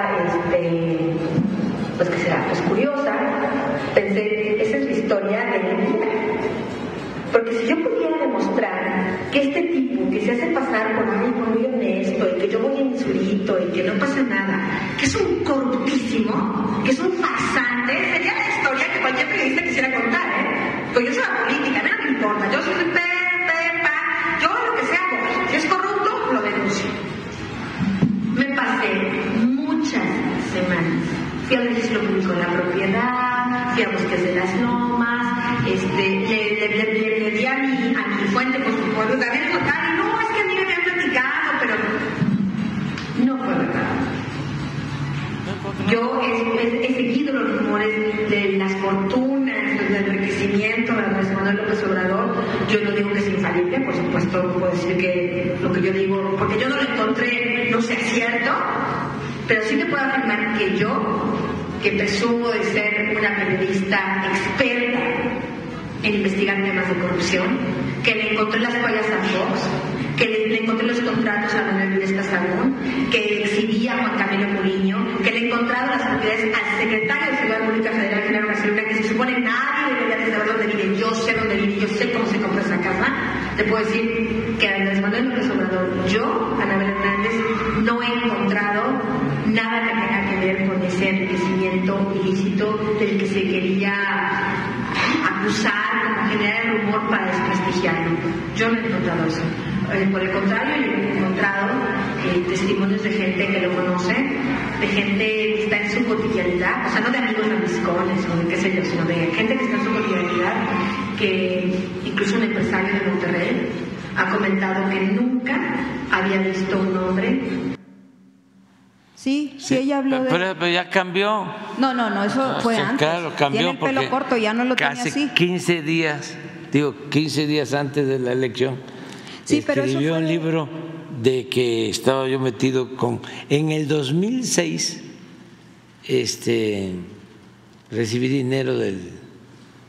Eso ya que lo explique ella la- y que cada quien, si lo leen, pues que, que cada quien haga sus conclusiones. Eso fue antes de, de cuando le preguntaron de cuando, cuando a usted, me acuerdo del 2006, me acuerdo yo que, todo el mundo le buscaba y no le encontraba nada. Y esa, esa, ella explica que fue esa etapa. Entonces, ya después si hizo su otra investigación, pues cada quien que lo, que lo vea y usted tiene su versión. Pero, y luego el otro día usted me, yo nada más le voy a decir una cosa, usted me, me, me comparó, me quiso comparar con ella, que yo era igual de, que ella. Y no, presidente, yo no soy igual que ella, yo quisiera tener ese valor. Nada más le voy a decir una cosa, mi primer reportaje, bueno, el primer reportaje de ella eh, como reportera, que casi tenemos los mismos años, fue una cuestión de venta de drogas en Tepito. Hizo una denuncia de algo así. ¿Sabe cuál fue mi primera nota de, de- de- como reportera, ya publicada en el Imparcial? Un acto de corrupción entre un chofer de camión y un policía. El chofer del camión le dio 10 pesos al policía para que lo dejara ir porque había cometido una infracción. No hay comparación, presidente, entre yo y ella. Ella, yo mis respetos porque yo Ella maneja muy buena. Yo quisiera tener el valor de tratar temas tan que- complicados, pero no, que maneja no lo tengo. información de la DEA. yo no sé, pero el Pero caso eso que es lo que yo sostengo. pero el caso es que ella tenía, Pero usted bueno, tenía Reina, una ya- opinión. Ya, ahora sí. Bueno, ya no vamos a hablar de ella, pero sí vamos a hablar de algo del futuro que nos preocupa, presidente. Va a haber 23 gobernadores de Morena en todo el país, de los 32 que hay en el país, y de esos 23, eh, algunos vienen del PRI, otros vienen del PAN. En Puebla, por ejemplo, ya empezaron los medios, y eso es preocupante porque los medios ya empezaron a hacer sus, sus ajustes, sus cambios, acomodarse al nuevo gobernante para ver cómo les va a ir con la publicidad, y están despidiendo a los reporteros críticos. Yo no sé si Armenta, por ejemplo, en Puebla haya dicho, córreme a este y a este y a este, pero, pero los medios sí. ¿Sabes qué? Tú periodista crítico, que aquí lo tenemos, eh, ya no puedes seguir conmigo porque ya no tengo dinero, porque ya no me quieren dar, porque quién sabe si me van a dar. Aquí tenemos al reportero que corrieron. Y- Sí, pero yo no y- sé, ya eso ya No, es pero es un gobernador de Morena, presidente. Ese es el punto. Al equipo de comunicación porque están dando estos indicios de, de bloqueo sistemático. Eh, lamentablemente no lo puedo comprobar, pero sí tengo, y se lo digo con toda honestidad y con toda franqueza, que tuve un acercamiento con uno de sus integrantes del equipo de comunicación de Alejandro Armenta y en corto, off the record, él me decía como una este, especie de que conocía a los directores de los medios en donde yo estaba presente y que si él me quería afectar lo podía hacer, pero que él no había hecho nada, que él no, había, no me había acusado con nadie. Eh, sin embargo, hace dos semanas, al mismo tiempo, de dos espacios en los que yo estaba, pues me dieron las gracias así, de la nada. Obviamente niegan que, que hayan recibido instrucciones. El gobernador electo, Alejandro Armenta, ha asegurado que va, va a defender la libertad de expresión que si alguien se siente agraviado, pues que lo diga y que no importa que sea alguien de su equipo que lo diga. En ese sentido, ¿cuál sería el llamado para que realmente se respete al periodismo? Pues que no se ajusta a los convenios y que ojalá estos convenios no se entiendan que hay que hablar bien de los gobernantes en turno. Eh, eh, desde mi opinión, todos los gobernantes, incluyendo usted, y usted lo permite, es eh, que permitan la crítica porque les da legitimidad a final de cuentas, no un periodismo lambiscón, un periodismo barbero, Sí. Sino que haya este exhorto para este gobernador y para todos los demás Y para los gobernadores. 23 Sí, pero aquí nosotros no hacemos eso. Pero usted se Nunca lo hemos hecho y este y por eso son los ataques. Porque eh, en el gobierno anterior nada más facturados eran como 20 mil millones de pesos al año y eso se terminó. a nivel O sea, federal. an- sí, a nivel general, ah, no, pero en general ya es otra cosa. Pero los estados, el de Veracruz tiene todo silenciado también. No, no, no, ahí al contrario. A los al medios, presidente, No, no, no. a los se- reporteros. Se, demuestra de que quienes A estaban críticos. ahora, por ejemplo, financiaron la campaña en contra de Rocío Nale, los que estaban antes, con mucho dinero este, para los medios de información nacional, eh, periódicos nacionales. Sí. Me da pena eh, decir de televisoras que hacían reportajes ¿no? especiales pagados sí. en contra de TV Azteca, dígalo, y miren, dígalo. ¿Por qué no pones otra vez cómo, cuánto fue el resultado en Veracruz? Este, el Reforma, el Universal, Televisa. Este, en el caso de Veracruz, ¿dónde está, está Veracruz? Mire, 66 contra 23. Y ustedes pueden hacer la investigación de cómo en los medios nacionales, en la mayoría de los medios nacionales, ¿sí? decían que en Veracruz iba a perder Rocío Nal. O sea, no hay que padecer de amnesia. Se acaba de suceder esto. Los medios ¿Y por negocios. qué eh, crearon todo este ambiente? O sea, ¿o cómo lo crearon? Con dinero. Así es. Entonces, eh, no debe de haber compra de lealtades. El periodismo tiene que estar lo más cercano posible al pueblo y lo más distante que se pueda al poder económico y político. Presidente, pero sí que Ese es el buen periodismo. Pero que respeten a los críticos, Nosotros, a los nosotros no nos críticos. metemos en eso. Sí, No, pero va a continuar lo mismo. Es que esto ya No, inició que va a la transformación. Miren, este, estarían ustedes realmente en una situación este, difícil si no se hubiesen dado los resultados, si el pueblo no hubiese elegido como lo hizo. Entonces sí, porque la derecha, apréndanse esto, el conservadurismo tiene tres características. Un derechoso, facho, se distingue por tres cosas. Primero, porque es muy autoritario. Eso se puede probar técnica, científicamente. Es muy autoritario. Segundo, y se puede probar, son muy rateros, muy rateros. O sea, su Dios es el dinero. Y lo tercero, son muy hipócritas, mucho, muy hipócritas. Y ahora están en Morena, Entonces, presidente. Eso no pasa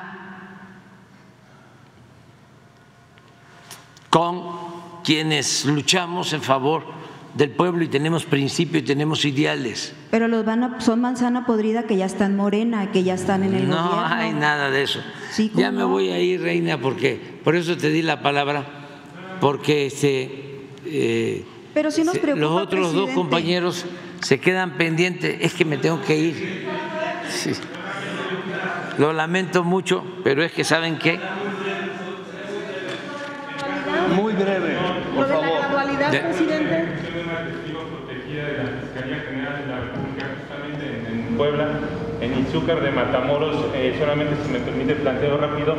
Eh, el pasado 20 de junio eh, eh, asesinan a María de Socorro Barrera, que era testigo protegida en este caso de las periodistas de Izúcar que yo le planteé en enero. No sé si usted se acuerda. Sí. Eh, Natalie Michelle, pues ella a, a cuatro días de que iba a dar su testimonio en una audiencia inicial por el delito de tortura, la asesinan, la ejecutan eh, y hasta el momento autoridades municipales, yo no tengo idea que se hayan acercado autoridades municipales ni siquiera estatales para garantizarle mayor seguridad. Si puede la federación, usted o la Secretaría de Seguridad eh, hablar con la familia de, de Sí. Socorro para garantizar su seguridad, también reforzar la seguridad de las periodistas Sí. y, y si es necesario este, investigar también eh, a la alcaldesa de Izúcar porque de alguna manera está vinculada con este caso, porque le repito, iba a hacer la audiencia inicial y de pronto este, le ejecutan cuatro días antes y ya el día de la audiencia inicial la jueza decide diferir la audiencia nuevamente por cosas que ya, ya estaban sustentadas en la carpeta de investigación y la difieren y entonces generan esta incertidumbre y sobre todo este, el miedo que hay en las periodistas. Lo vemos, en las testigos lo vemos hoy mismo. Dos minutos nada más. A la dama. Ándale, ándale, ándale, pues. Vamos. Es este Gracias. Sí, sí, seré dos minutos, presidente. Jorge. Sí, de Ensenada, de Baja California. Cofepris, a finales del mes de noviembre de 2023, las farmacias en Ensenada fueron visitadas por esta dependencia. Entre ellas son varias, ¿eh? Bodegón farmacéutico, Botica del Pueblo, eh, Farmacias eh, de San Martín. Y en diciembre 15 se acudió, aquí se vinieron a la Ciudad de México para presentar las respuestas eh, a lo solicitado. Y hoy, hoy, 28 de junio 2024, COFEPRIS no da respuesta, presidente, mucho menos solución. Van siete meses, siete meses de estar con las farmacias cerradas del eh, bodegón farmacéutico y los que le mencioné. Dicha farmacia subrogan el servicio del gobierno del estado de Baja California de la gobernadora Marina del Pilar en el Instituto de Psiquiatría de Baja California, IPEBC. Más de 5 mil derechohabientes no tienen este servicio y es un problema social la falta de sensibilidad y humanismo para las personas enfermas de Baja California o en Baja California y todo y todo porque el elefante reumático tullido de Cofepris ignora que debe levantarse y resolver. Siete meses de pagar renta, siete meses de pagar sueldos y mantener la fuente de este empleo. Eh, aguinaldo, siete meses en que la ciudadanía no tiene sus medicamentos y andan buscando, porque me ha tocado ver, eh, eh, en qué farmacia les pueden surtir sus medicamentos siete meses de pagar IMSS, siete meses de pagar Infonavit, siete meses en donde las pérdidas económicas van en aumento con medicamentos que se van caducando. Lo que sí está haciendo Cofepris es religiosamente cobrar su sueldo ese sueldo que proviene de los sectores productivos y económicos de este país llamado México y de Baja California y Ensenada. Ya, por favor, presidente, usted se le caracteriza por su humanismo y su sensibilidad. Le pregunto con mucho respeto, le dará la firme instrucción al titular de Cofepris que ya se reabran estas farmacias y el caso de Asoma, pues ya la están jugando, ya tiene un, año lo de los eh, maestros jubilados, de la caja de ahorro Asoma, hablaron, aceptó el gobierno del Estado que tenían la bronca de que sí fue el gobierno del Estado de, una manera unilateral eh, recortar o no dar ya los descuentos y ya están en las pláticas. Yo le agradezco a la gobernadora Marina del Pilar, le agradezco a Alfredo Álvarez, pero aquí hay un tema, no ha habido la voluntad ya determinante de solucionar. Ya, ya lo aceptaron que, están que cometieron e, ese tema. Yo le quiero pedir a usted que también, como siempre lo ha hecho para Baja California y en Ensenada, le agradezco mucho el que usted dijo hace rato, en un periodismo de poder servir al al prójimo. Por eso estoy aquí y le agradezco este tiempo, le agradezco a Jesús. Eso es lo que le quiero decir, preguntarle así concretamente, si se va a hacer esto que le acabo de plantear. Sí, vamos a, este, mira, hoy, este, si está aquí Alejandro Schwartz, el director de Cofepris, te va a atender hoy y hoy te van a dar una respuesta. ¿Y lo de la caja de Eso con la gobernadora. De verdad, hay un desastre. Por eso, ya, en las carpetas. ya seguramente la gobernadora está escuchando lo que estás planteando y vamos a esperar que ella dé una respuesta. Esa atención que tiene para Baja California y para el Senado. Muy bien. Adelante, Ninel. Es Ninel de Puebla por Infocorn y Zacatepec. Eh, son tres temas, pero voy a ser muy puntual porque se quitó el tiempo.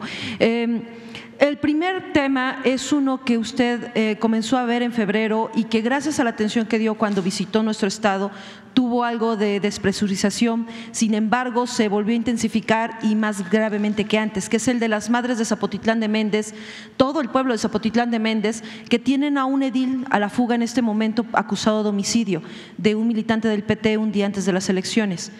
Este caso canalizó con Rosa Isela, gracias a eso hubo un poco de disminución de las amenazas que estaban sufriendo desde el año pasado cuando este DIL disparó una escuela primaria. Sin embargo, al no haber resolución en este tema, cuando no se procedió para detenerlo, lo que se temía por parte del pueblo pasó, que esta persona que estaba claramente direccionada a la violencia eh, participó junto con 30 personas más, muchos de ellos policías. Ayer fue detenido el jefe de la Policía Municipal de Zapotitlán. Mataron a, un, a una persona a golpes y a balazos. Y ahora que se dio la detención el día de ayer de seis personas, una familiar de estas personas detenidas fue al trabajo de una de las madres a amenazarla diciendo que ellas tienen la culpa.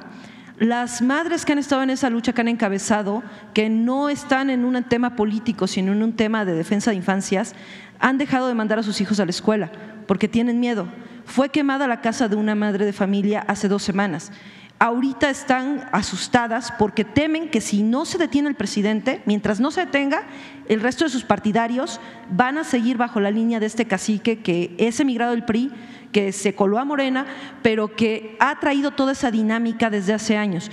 Eh, además de esto, está el tema de San Pedro Cuaco, Benito Juárez, en Aclisco, una comunidad muy pequeña que lleva ocho años en un conflicto religioso que en estos momentos tiene ya casi dos meses con la parroquia tomada y la presidencia auxiliar tomada también por bandos supuestos, que lo que piden es la intervención para que el presidente auxiliar no complique las cosas, la, llegada a una resolución eh, tomando partido, sino que se respete el Estado laico para que puedan tener un diálogo civil y que no hayan, eh, no se llegue a tragedias, porque están subiendo las tensiones, son ocho años. Eh, bajó mucho la tensión cuando usted en febrero entregó el certificado de reconstrucción de la parroquia destruida en el sismo de 2017 Sin embargo, se han vuelto a abrir las tensiones. Y finalmente, el otro tema que es complejo, pero trataré de ser muy rápida, es el tema del relleno intermunicipal de Cholula. La lucha de los pueblos, de la Unión de Pueblos y Fraccionamientos, ha develado, así como lo hicieron en su momento los compañeros de Cuapan en, Tehuacán, que tenemos una crisis de desechos sólidos muy intensa, una crisis que es global y que evidentemente eh, para los pueblos en, en, el estado de Puebla se complicó desde el periodo neoliberal, pero para el que todavía no se ven políticas desde una perspectiva transformadora óptimas para tener diálogo. Los pueblos de Cholula han hecho ya varias ofertas de diálogo público. En, marzo, en, mayo en concretamente, hicieron un llamado a la plaza pública a todas las autoridades. Ninguna acudió. A partir de esto, eh, ellos continuaron con un plantón, han cerrado este, este relleno de Cholula y Calpan, que ya ha aprobado, la Profepa misma constató que no tiene una valla protectora para evitar que los, eh, los mantos freáticos sean contaminados por lixiviados es un basurero en el que la basura de 23 municipios se concentra en una región muy pequeña, que además es agrícola. Y hubo una clausura simbólica, luego una clausura formal por Profepa. El 30 de abril se quitaron los sellos a pesar de que no se cumplieron las medidas.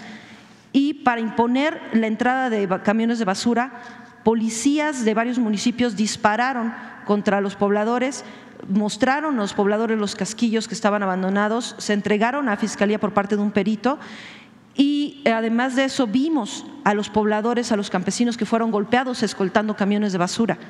Algunos de ellos apenas si podían hablar por los temblores de los golpes que les dejaron. Lo que quieren saber los pueblos es, eh, primero, qué proyecto se tiene para el segundo piso de la cuarta transformación, para ese tema que sabemos es complicado, que tiene que abarcarse a nivel federal, y también de qué manera se puede instar al gobierno del Estado a que tenga un diálogo porque si bien el secretario de Gobernación ha dicho que ha habido diálogo, la realidad es que esto no se ha dado. Hemos atestiguado um, cientos de, medios, que no solamente estatales, sino también nacionales e internacionales, que no han acudido a los diálogos. Además de eso, deliberadamente se dijeron mentiras, como el hecho de que había un estudio supuestamente de la UAP, cuando ya por IFAI, por vía de IFAI se comprobó que la UAP no ha realizado ningún estudio validando ese basurero.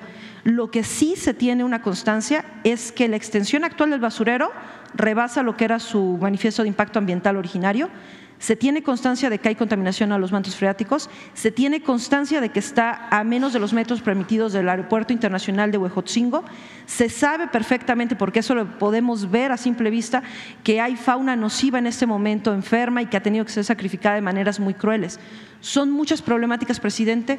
Gracias. Ojalá pueda atenderlo porque en estos momentos son situaciones que tienen en una situación de vulnerabilidad las vidas e integridad, sobre todo de comunidades vulnerables. Y el caso más sería el de Zapotitlán, porque hay un temor latente de que mientras este alcalde esté libre, pueda haber una muerte más.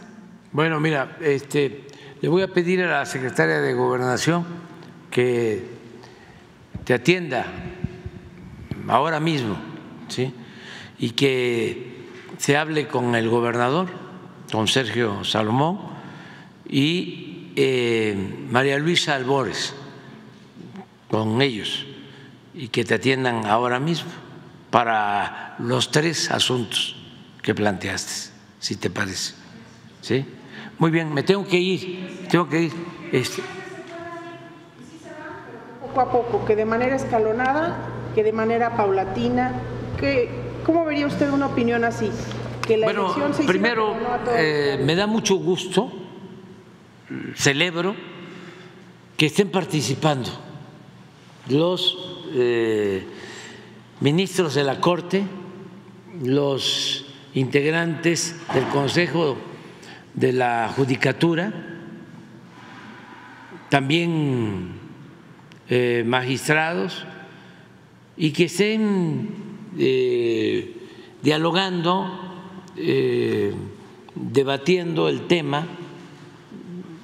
Además, celebro que estén aceptando de que hace falta la reforma en el Poder Judicial.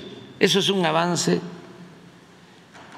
importantísimo y es digno de reconocimiento, de que ellos eh, acepten de que es necesario eh, el que se reforme el Poder Judicial.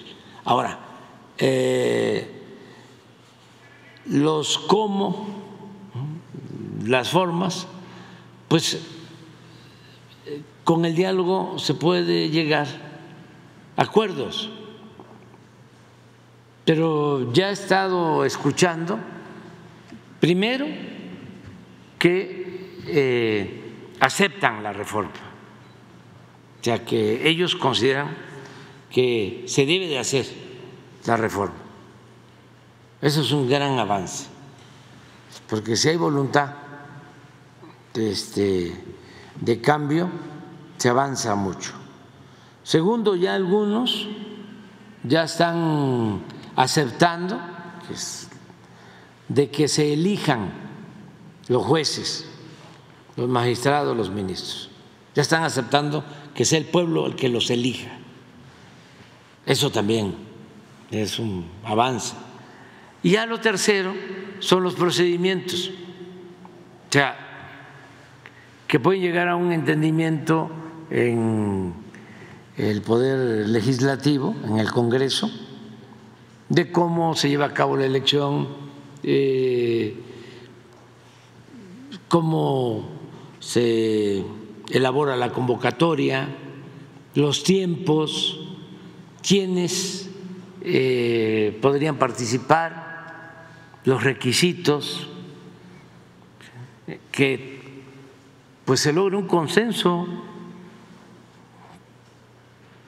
Yo opino por ejemplo, lo he dicho desde el principio, que no se excluya a los actuales, nada más que haya escrutinio público, es decir, que se sometan a la consulta de los ciudadanos, que sea el pueblo el que elija.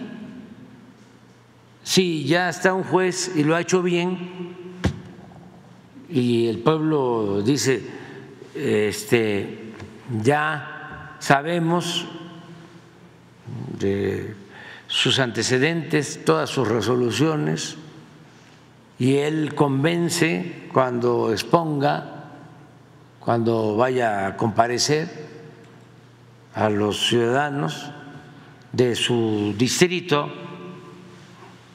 o los ministros a nivel nacional. Van a ser debates eh, muy enriquecedores. Se está ah, quitando ¿no? El velo que existía sobre ese poder. Era como un poder clandestino. Nadie sabía nada. No se sabía quiénes eran los jueces, cuáles eran sus funciones, la función de los magistrados, ministros, ¿cuántos ministros? ¿Cuál es constitucionalmente su eh, mandato? Vamos a avanzar mucho, porque se hablaba, queremos eh, vivir en un Estado de Derecho, claro que sí, todos queremos un Estado de Derecho, pero este, realmente vivíamos y todavía en un estado de chueco. proceso gradual, que no se fueran de un tajo. eso que lo definan, eso que lo definan. Nada más que eh, tampoco, hablando en términos jurídicos o legales o del argot de los abogados, no aplicar táctica dilatoria, no esperar a que se vaya el tiempo, ¿no? como algunos que están esperando, ya no tanto, pero antes sí estaban esperando que pasara el tiempo y que nos fuéramos nosotros. De todas maneras nos vamos a ir, nada más que este, pues, la transformación va a continuar. Entonces nada más es cosa de tiempo. Y también que eh, mi opinión, esto por cuestiones de gasto, que no se esté eh, haciendo una elección cada seis meses, si se puede hacer este, una sola, ¿no? Que se dé tiempo, tiempo sobre todo para eh, la información, que la gente tenga toda la información, eh, para que se conozca bien la historia pública de los jueces o de los aspirantes a jueces, mujeres, hombres. Una cosa que sí debe tomarse en cuenta es la paridad. O sea, es el momento para que sean 50 mujeres, 50 hombres. Mitad mujeres, mitad hombres. Porque en el Poder Judicial hay mucho desequilibrio. O sea, eh, son muchos hombres. Mm, no así en el Ejecutivo ni en el Legislativo. Entonces se aprovecha también para que mitad mujeres, mitad hombres. No, no me opongo, no me opongo. Yo creo que lo fundamental es que se lleve a cabo la reforma y que el pueblo participe en la elección, porque el pueblo tiene un instinto certero, el pueblo es sabio. Entonces, prefiero que sea el pueblo a que sean las cúpulas los que decidan. Porque un juez este, electo por el pueblo va a saber que está ahí porque el pueblo lo eligió, lo eligieron los ciudadanos. Y su amo va a ser el pueblo. Y va a actuar con más libertad, va a tener la arrogancia de sentirse libre. Cuando una autoridad, si los presidentes llegan impuestos por la oligarquía, por los traficantes de influencia, por los medios de información empresarial, como sucedía antes, entonces, ¿a quién le va a servir el presidente? A esos grupos. No se va a tener un gobierno para todo el pueblo, va a ser un gobierno como era antes, para beneficio de una minoría. El pueblo no existía, el pueblo lo volteaban a ver cuando necesitaban los votos. Era cuando repartían despensas y materiales de construcción, tinacos, pollos, patos, chivos, borregos, puercos, cochinos, marranos, frijol con gorgojo, dinero en efectivo. Y ya, pasaba la elección y no volvían a ver al pueblo hasta los corrían de los ayuntamientos. ¿Qué me vienes a pedir después ya que estaban de presidentes municipales? Si ya te dimos, humillaban a la gente. ¿Qué democracia va a ser esa? Era una caricatura, una simulación de democracia. ¿Y el poder quién lo tenía? La oligarquía, que se dedicaban a saquear a México a sus anchas, con el apoyo de los diputados, levantadedos, que ya después se volvió hasta electrónico, y con los medios, ¿no? Aplaudidores, que aplaudían o callaban, como vasallos. Al carajo con eso. Adiós, adiós, vamos a seguir. Es muy probable, muy probable. Gracias. Este. Gracias.